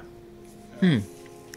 One thing, folks, when you look at all this, uh, anything you see that looks like a star, that's actually a foreground object. That's in our galaxy. Yeah, these like these are stars in our galaxy, and we're looking past them to uh, just over two million light years beyond. So the light coming from this galaxy is just over two million years old as well, but the light coming from these stars is probably just a few hundred to a few thousand years old. I mean, they're in our galaxy. okay, that's 20 stacked images of the Triangulum Galaxy. I think that's tremendous. I think that's enough. All right, we're gonna be messing with that. Okay, so we're gonna save this now. Hey, Keisha Fowler's here. Hi. Hi, Keisha. Long time no see.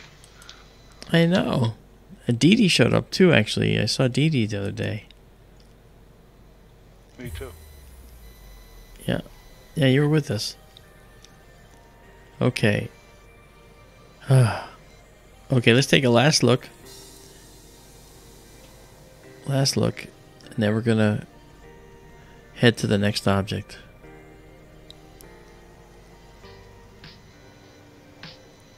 Wow. Absolutely beautiful.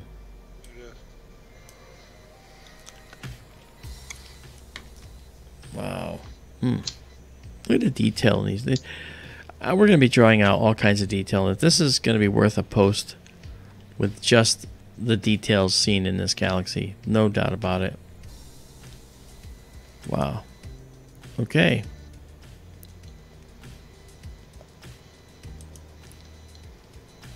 We'll leave that there. It'll come. We'll we'll we'll clear it in a little bit.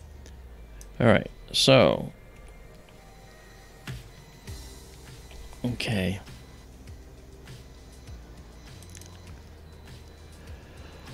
Okay, and here's our dynamic uh, view here, our, our one second view. Right there. Alright. Let's see where we're to go now. It's almost like, since we're here, we gotta like, we gotta like look at some nebulae that might be nearby here. I don't think we have any.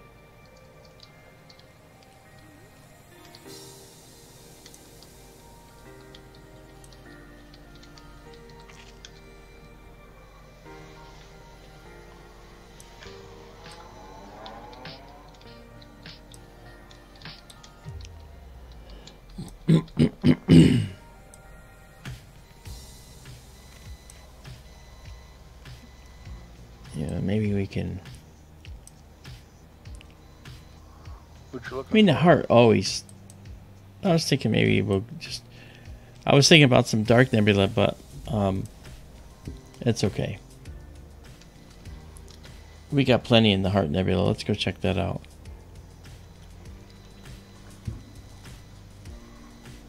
Okay, telescope's heading to the heart nebula. That's got to be one of those uh, stellarium names. I can't imagine Galileo looking up in the sky and goes, "Oh, I'll call that a lawnmower." Back in Oh, Galileo, the lawnmower, day, yeah. that- Yeah. He would have called that a sheep nebula. You know, Yeah. sheep were Because those were the lawnmowers.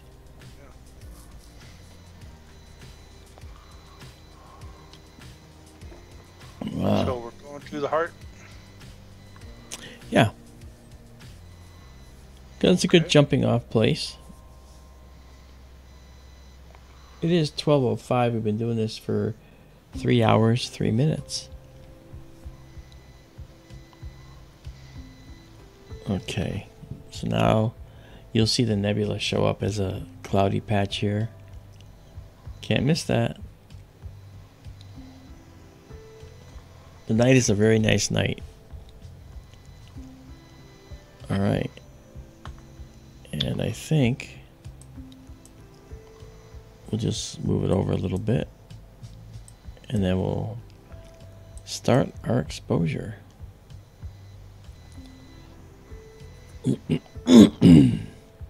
Fish head at upper right That's right. always That's reminds right me here. of the fish head on my little fish sculpture. Looks a lot like it. Yeah. Okay, we're gonna do 55 seconds on this. All right. And we should have our guide star right now. We're gonna clear this. That was beautiful. These are gonna be some really, really beautiful images to take down from the server site, by the way. Where's the server? The server can be found if you go to my Facebook page, Marc Dantonio. It's pinned at the top. Uh, it's a OneDrive public server. And if you go to SkyTour Livestream on Facebook, you can find it pinned there too. I'll Um, post the link. Oh, you got the link? Excellent. And then if not, you can just check out this chat and go to the link that Daryl's going to post. Uh, Okay. it's way down in my favorites. I have to find it first. All right. All right. Be ready, folks. This is going to knock your socks off.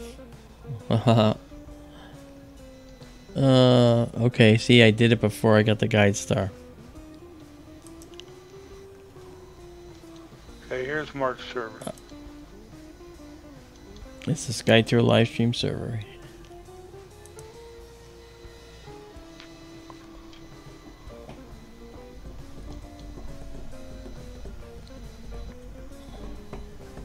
There you go. Thank you, Daryl. Sure. When you click on that, it takes you right to a OneDrive public server. It's read only. And you can go and see all the folders for all the nights we've done uh, things. Uh, uh, I don't. Uh, Isabella asked a question about the Heart Nebula. I don't understand about the Heart Nebula. Is it empty in the middle, or, or it's the far side of the? Uh, what is the general construction? Um, Leslie, that actually does look like a big red sea turtle with the head here and the flippers and the shell. Uh, Isabella, to answer your question, um, this is the hot young. This is the hot young cluster in here, and to some extent, this cluster has high stellar winds that are are clearing the center, and these stars will actually form a cavity uh, where they form. All right, and we could be seeing some of that. Yes. Oh man, it's beautiful. Absolutely beautiful. Mm-hmm.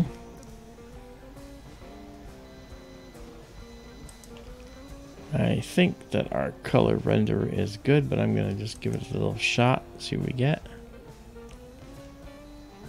That's actually a little better. And then let's do a little. There we go. Brings out some more data in the middle. That middle that you're talking about. See all these many stars. This is just a stunning location. This is the Fishhead Nebula up here. Okay. Fish has lips. Yeah. You see And the other thing to notice right here. That's what reminds me of my fish. It has Mm. gills just like that. Has lips like that too. Yeah.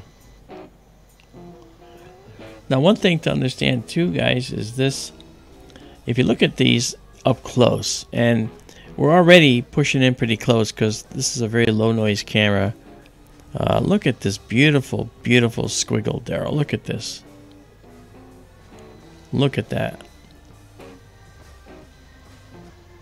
Of like of Creation again. We see I that over have never. over. Yeah, we've talked about this many times. Okay, when you look at uh, at these things, when you look at what happens in these nebulae, okay, um, you'll see that there is an area that's dense. Okay, a dense area of material that's forming, and then hot stars are hitting it with stellar radiation, and they tend to, with their stellar winds, they tend to push away the loose stuff, the stuff that isn't gravitationally bound. So dust will go away, some gas will go away. And again, in the same way that stars clear a cavity around them, they clear that material. But sometimes there's dense knots of it, and the stars can't clear that. So those become areas that are uh, gravitational foci, gravitational focuses where objects can, coalesce and condense in there. And as they get denser, then the stellar winds have even less chance of pushing them apart and moving them away. And that's kind of what we're seeing here. All right. And they tend to be radially uh, arranged away from the hot stars. Okay. So, for instance, we go over here and we see these guys radially arranged out from the hot stars in the center of this cluster. Uh, but, you know, because the universe is in 3D, we don't know exactly which stars are doing that moving. Okay, some of the stars that could be doing doing that uh, moving could actually be like literally this star right here could be doing that to this, you know, or this star could be doing that. It doesn't have to be this star. Okay, this star might be much closer than the nebula. Might not even be in a nebula. You know. so there's a lot going on. Whoops.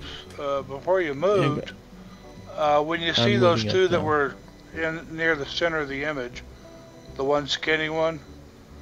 Okay. Uh, right there.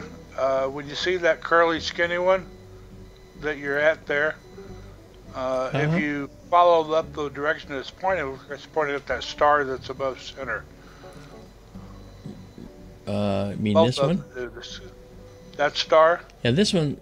Yeah, this one looks like it's pointing to there. Yeah. So maybe it's responsible for big one to its lower evaporating this. is also pointing that direction. Yeah. Yeah, and we'll we'll see a lot of that. We'll see a lot of that, you know.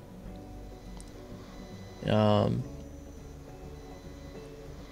Pillars of yeah, let me. creation. Uh, yeah, it's like the pillars of creation. Yeah. Oh gosh, I can't wait to see all that now. Gotta wait till summer now. Oh. We stacked six here so far. Look at the the knots, the knots and convolutions in here. Just beautiful. Look at this right here. Look, I'm gonna zoom in on that. Looks like it has eyes. Glowing in the I know, dark. right? Looks like a little bug.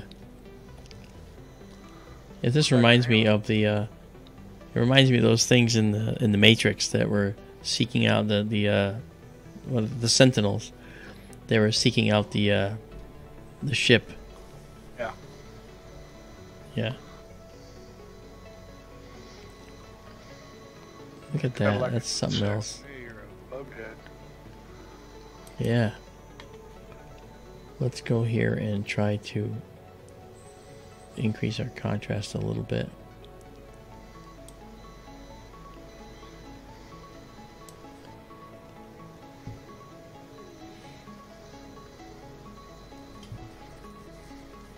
Sorry guys, I just yawned again.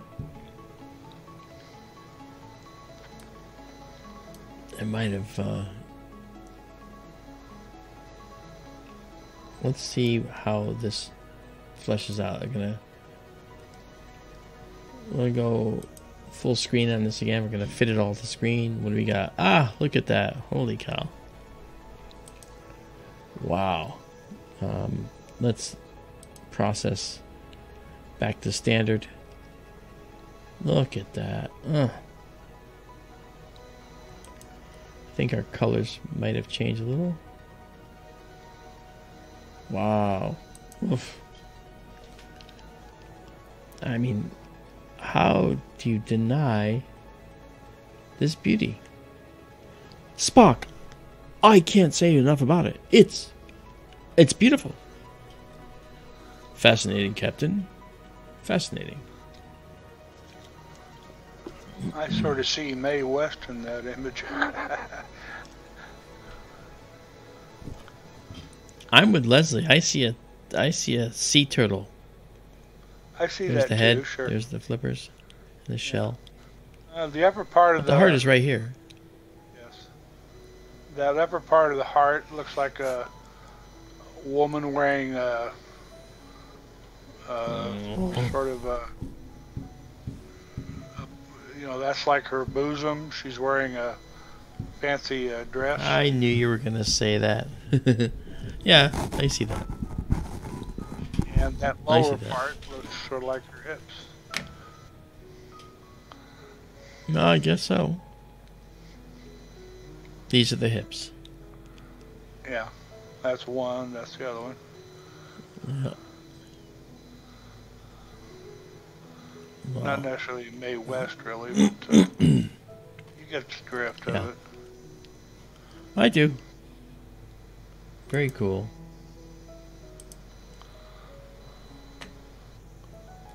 I wonder, you look like you have is- another star cluster over on the left edge.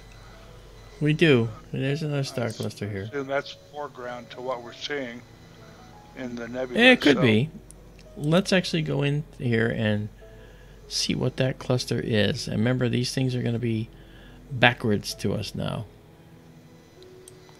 Because the telescope is tipped back with their head back. So they're going to be kind of upside down. Okay, so it's on the opposite side of the fish head. You know you've arrived when your images are better than this atlas that you're using. Fish head's here, and the cluster that we're looking at is on the opposite side. So, Probably NGC 1027 there. yeah, that's what I'm looking at right there, yeah. That's right. Depends how much it says they have in them. Fifty to hundred stars. Yeah, that's it. What? Open star cluster, it says. Yeah. Yes, sirree. Wowie wow. Okay, that's beautiful.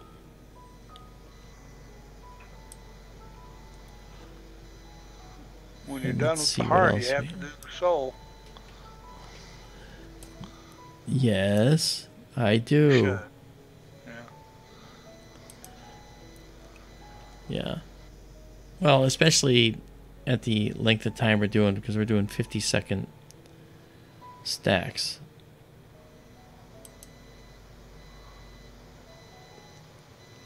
Okay. Let's go back here. Look at that. Wow. Ah. Amazing. I see Hi, star Roxy trains. Bot. Of course you do. there know, you go, M- Roxy Bot. M M77's one we need to look at sometime. Yeah. That's the one up near uh, Alpha Ceti. When we looked at uh, uh, NGC 253 earlier, that's at the far end of uh, Cetus Yeah. in the tail, and Okay, we're gonna. M77's near its uh, head. Okay. All right, this is an 11 total time is 11 minutes 55 seconds, so 12 minutes on this. So we saved it. We're going to save it exactly as seen. And then we'll go to the Soul Nebula. The Soul Nebula. Okay. And then we'll clear that later. Gorgeous. Okay. Go to one second. And we're going to carry on. Carry on, my wayward son. All right. I hate that song. I liked I liked the band Kansas back in the day. I saw them in concert once uh, off their third album, I think it was. It was a great concert. And when they Okay. did uh, that album, uh, uh, I forget what it's called, Leftoverture or whatever, that uh, yeah. I thought it was kind of a commercial sellout. Carry on my Really? wayward son, Dust in the Wind, and all that stuff. I hated that album. Hmm. First three albums are great. Yeah. That's when they really got big, though, and they went commercial and sold out. hmm Excuse me a moment. Okay. We'll be doing the Okay. soul by the time you come back. We're moving across to the soul. You notice how all the noise goes away when he, he mutes his mic? He's got some kind of electrical noise going on there with his cables or whatever, so that's why you're hearing that high pitched sound. Sometimes like high pitched cycling of something. Let's just actually. Hmm? Oh, duh. Okay, here we go. Alright, and now let's say we're to do this a little bit with a little bit more panache. Here we go. Gonna move faster now. Okay, and then move south, I believe. Yeah, and then we'll have the Soul Nebula. Of course, that's too far.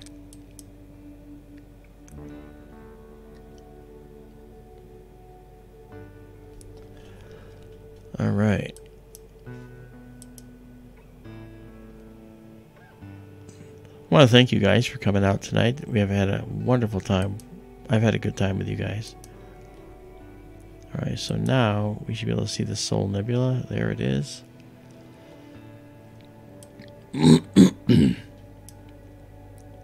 okay, and then we're going to move it to the west a little bit.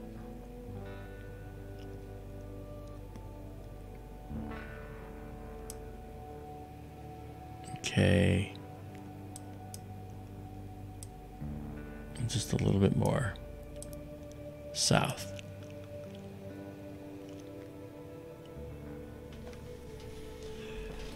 All right.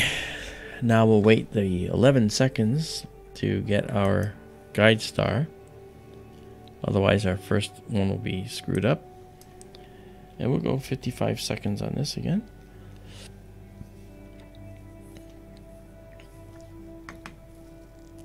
And we should have a guide star by now. So let's go. We'll live stack and we'll clear the last image of the Heart Nebula. Look at that beautiful nebula. Uh. Wow. It's like you can't get enough of that, you know? It's just beautiful. Look at that. Mm.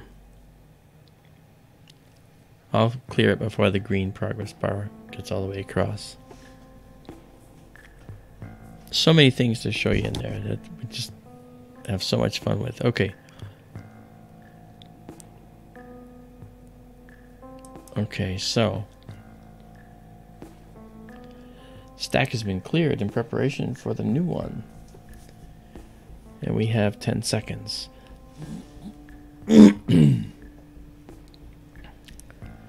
Three, two, one, zero, and Soul Nebula. Pow. Look at that. Wow. That's just beautiful.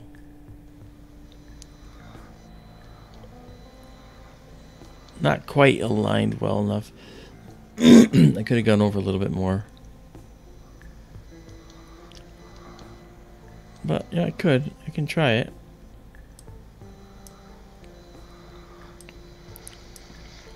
Let's see if it can align. Otherwise, I'll just clear it and start again. I see a bosom in that one too. My gosh. You're seeing too many bosoms. Alright, let's clear that. And let's see where it puts us now. Alright, it should be moved over now.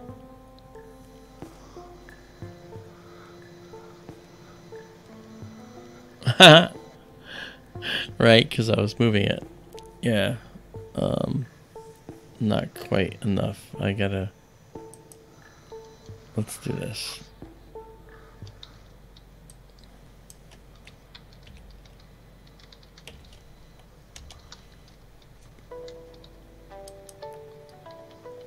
All right.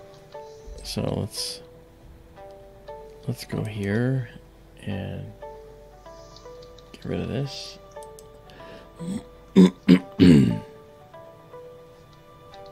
okay.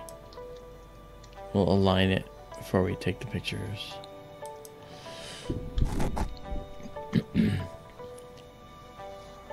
there we go.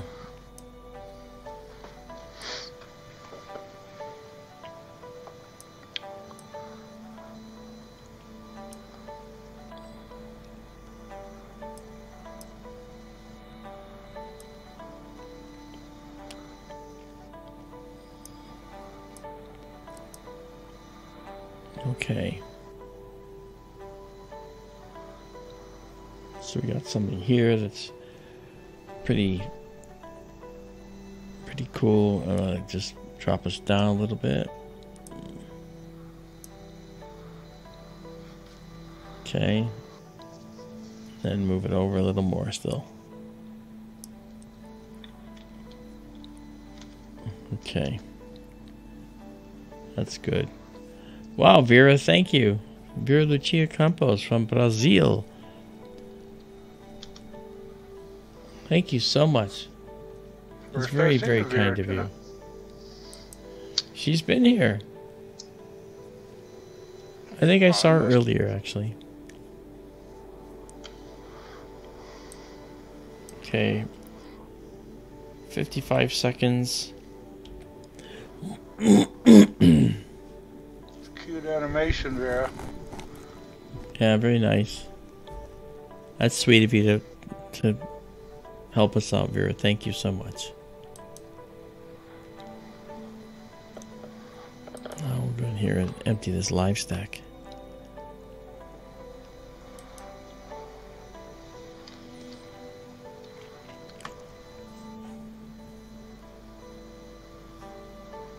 You know, I'd, I'd be lying if I didn't say that helps because I pay for the extra OneDrive storage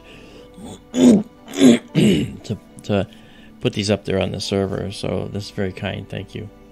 That helps me take care of the infrastructure. Gotta take care of the infrastructure. I have no choice, yeah. Oh, bad internet today, Vera? I'm sorry.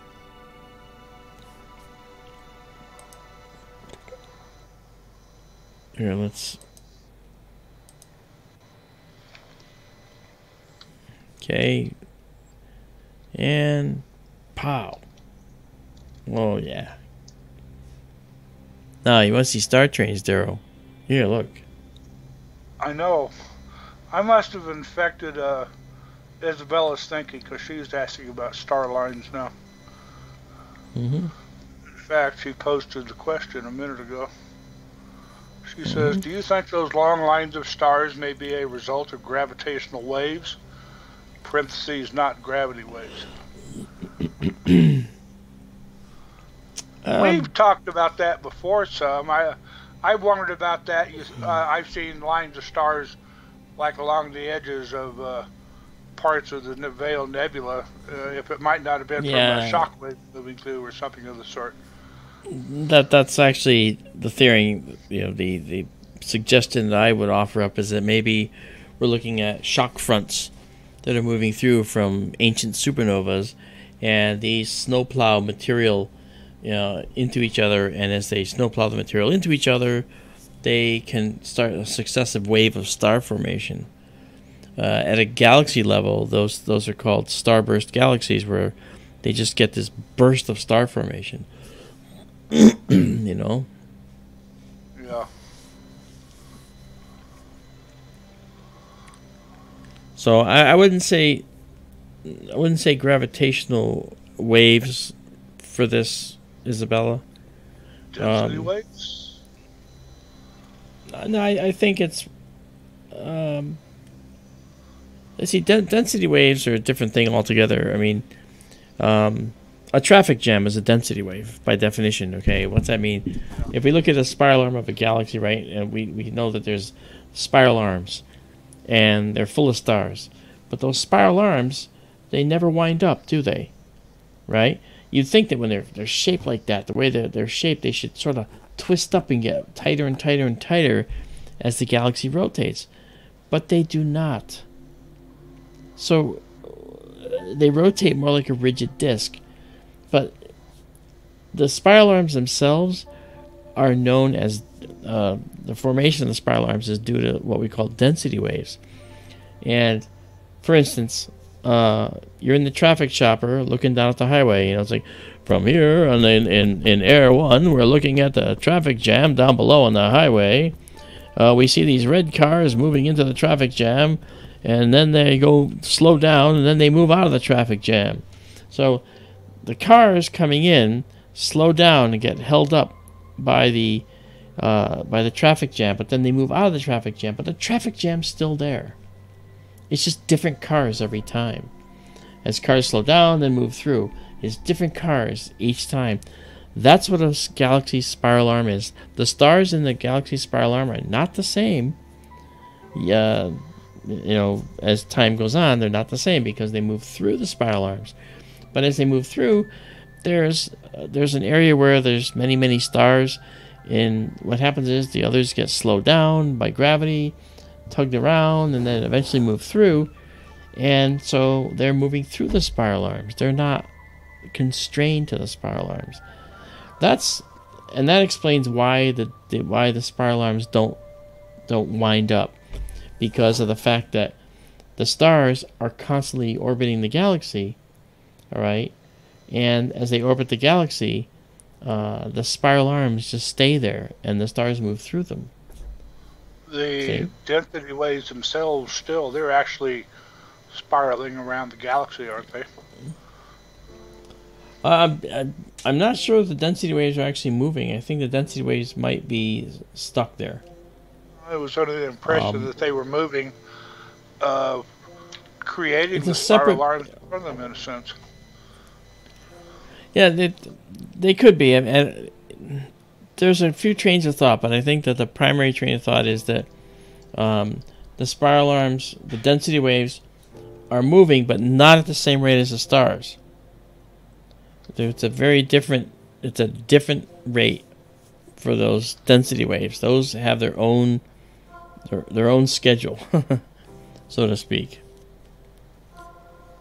So I think that you're you're saying the right thing. I actually, but I think that the the density waves are actually um, they're a phenomenon that's actually not. Um, we can't really show it directly. We can just just take pictures and say, "Look at the galaxy. Look at the spiral arms." But the density waves are moving. Um, they have to be moving uh, to some extent because we see that they at the outside edges of the galaxy they trail back, right? And they lead at the forward ends near the near the nucleus. So something's causing them to do that trailing, and it has to do with rotation for sure. But um, they aren't winding up. Once they form, that density wave stays there. The traffic jam is a cosmic catastrophe of traffic jams. It'll never go away. Unless the galaxies collide, in which case all the density waves are disrupted and the stars move uh, in new paths altogether. this is the Soul Nebula. I'm going to call it the Bikini Top Nebula. Dear God.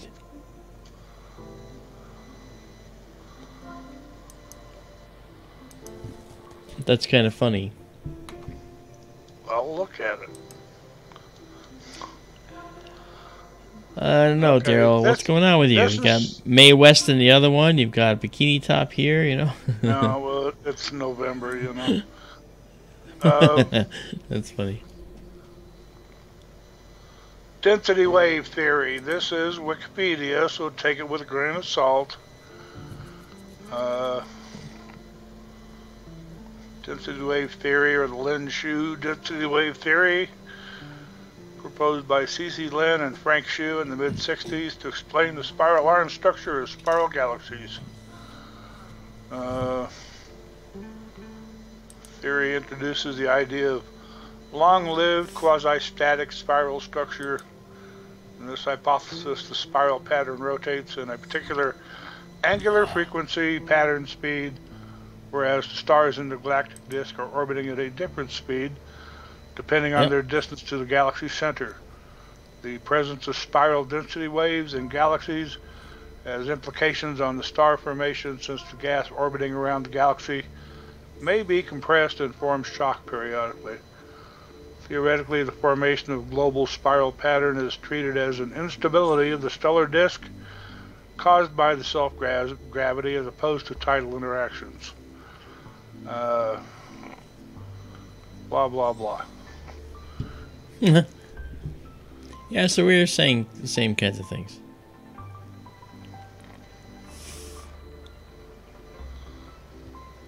Uh, one illustration, they have several illustrations there. Uh, one uh, simulation of a galaxy with a simple spiral arm pattern.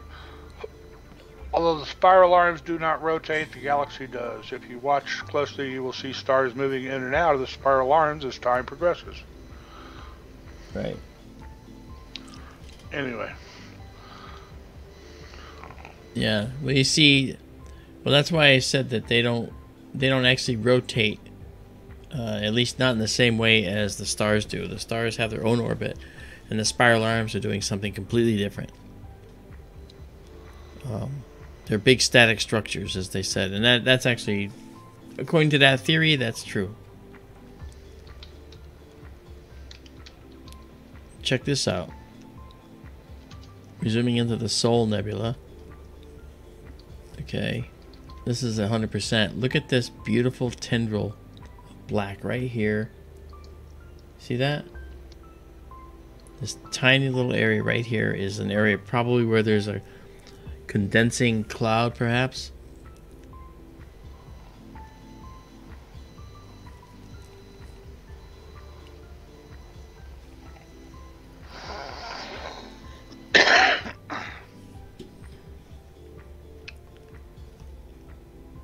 yes. That's really pretty. there, on the left of that, uh, it looks like you've got some that right there, some uh, blue mixed in with the red, like uh, reflection. It does look like there might be. Looks like there might be a one of those reflection nebulas, because we do have some dark stuff in here, and that could be scattering some of the light from the nearby stars, possibly this one. Just stunning. I mean, I I'm just I'm fairly certain I'm going to be staring at these these images for quite some time. There's so much going on in these images. We caught some good stuff, guys. No doubt about it. This is the Soul Nebula, part of the Heart and Soul. I don't know how many light years across it is, nor its distance. I'm gonna guess its distance has got to be like 6,000 light years. Are you able to look that up to see how far away the Soul is? And once again, here are these pillars that we see. These pillars are omnipresent in all of these many stellar nurseries where young cluster formed at the heart. There it is. Okay, spews out this ultraviolet light, which can go light years, and it can start eroding and causing these pillars. So the lightweight material gets pushed aside by the stellar winds. The high density locations like this and this and this, they literally shield what's behind them. And so they sta it stays for a longer period of time anyway. Okay. Uh, according to Wiki, What'd you so take it with a grain of salt. Seven thousand five hundred light years. Okay. Okay. Yeah. I figured at least 6,000. Doesn't give a estimate of the size. I haven't seen it yet, anyway. Well, if you get the arc minute size, I can plug it into my program and figure it out. Uh, 150 minutes by 75. Okay, 150 minutes by 75. Two and a half by one degrees. Okay. Yeah, no, I, I. Let's try. Let me find my programs. There we go. Um.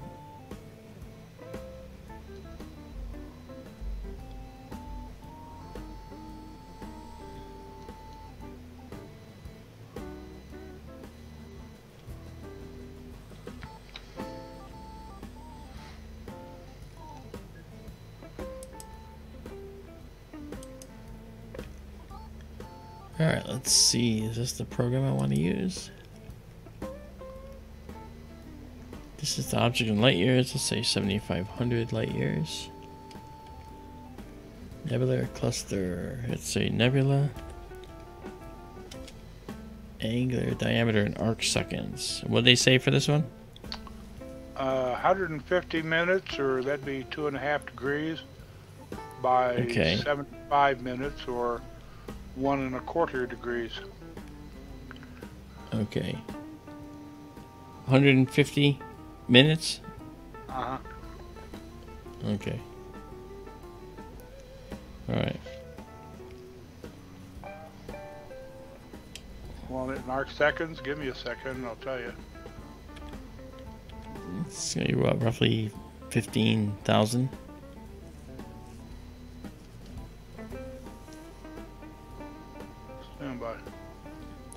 Let's just multiply times 30.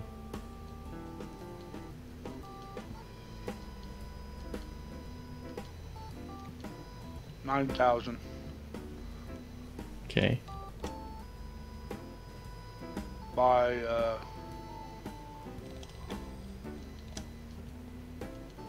I'll just do one size at a time. okay. Okay, that's uh, that puts its diameter at 327 light years across. All right, and it would be half that on the short side. Right. So That's right. uh, 100, 163 and a half. Yeah. Yeah. Big. Yeah, it's big. And the heart's even bigger. Heart's probably about the same distance. Let's see, we got uh, 16 stacked here. Let's go check out our favorite little location right up here because this is looking really, really good. Look at this. Do you see this?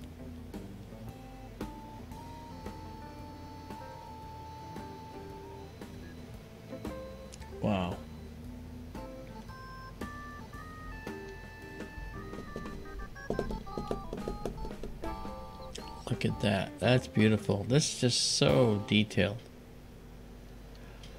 Wow. Okay. Okay. Beautiful. Well, you've done it again, folks. You have wasted another completely good night with SkyTour livestream here tonight. Um, these images will all be up there for you to digest and take in. We still have our winter sky coming up. I can't stay up for that tonight, but boy oh boy, it's going to be beautiful. Um, and when we look at the objects in the winter sky, you're going to say, holy cow. We've got things like Thor's helmet. We got things like the Rosette Nebula. We've got the Andromeda. I'm sorry. We have the Orion Nebula. We have the Running Man Nebula. We have the Horsehead. The the the Flame Nebula. We have so many objects to look at. All right. We have the Rubber Stamp Nebula. What's that? Hmm.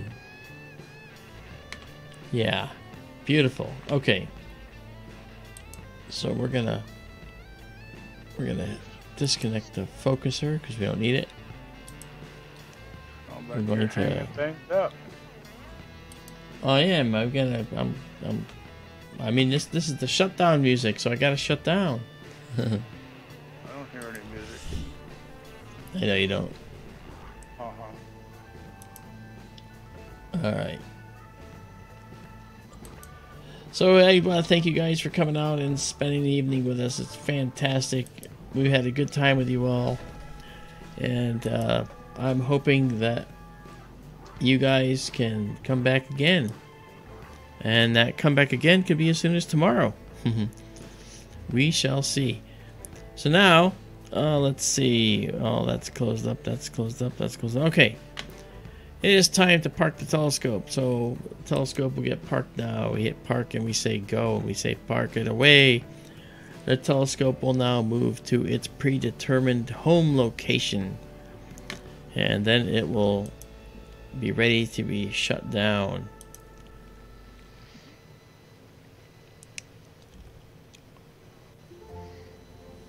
There we go. gotta get out there to remove the spider webs from around the camera.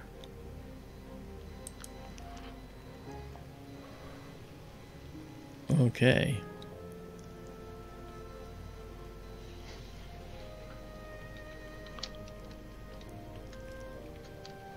Okay, telescope is off. All right, now we can disconnect the telescope. Disconnect the camera.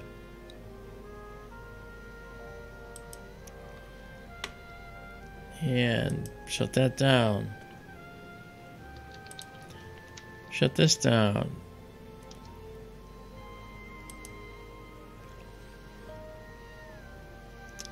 Now,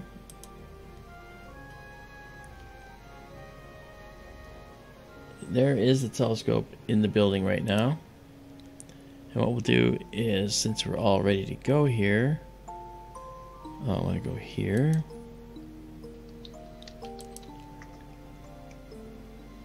And now we're going to shut the roof. Good night, telescope. Good night. Good night. Thank you for wonderful views tonight. It was just beautiful. Very much appreciate the attention to everybody here at SkyTour Livestream tonight. Beautiful. Good night, everybody. Thanks for the Yeah, stream. we'll Marc. see you all. Yeah, this is really beautiful. Some gorgeous stuff out there. Wow. Yeah. Indeed. All right, guys. Well, I want to thank you for coming, and we'll see you again soon. Thank you. Talk to you again. Have a good night, and we'll be back. Take See you care. See you soon. Good night.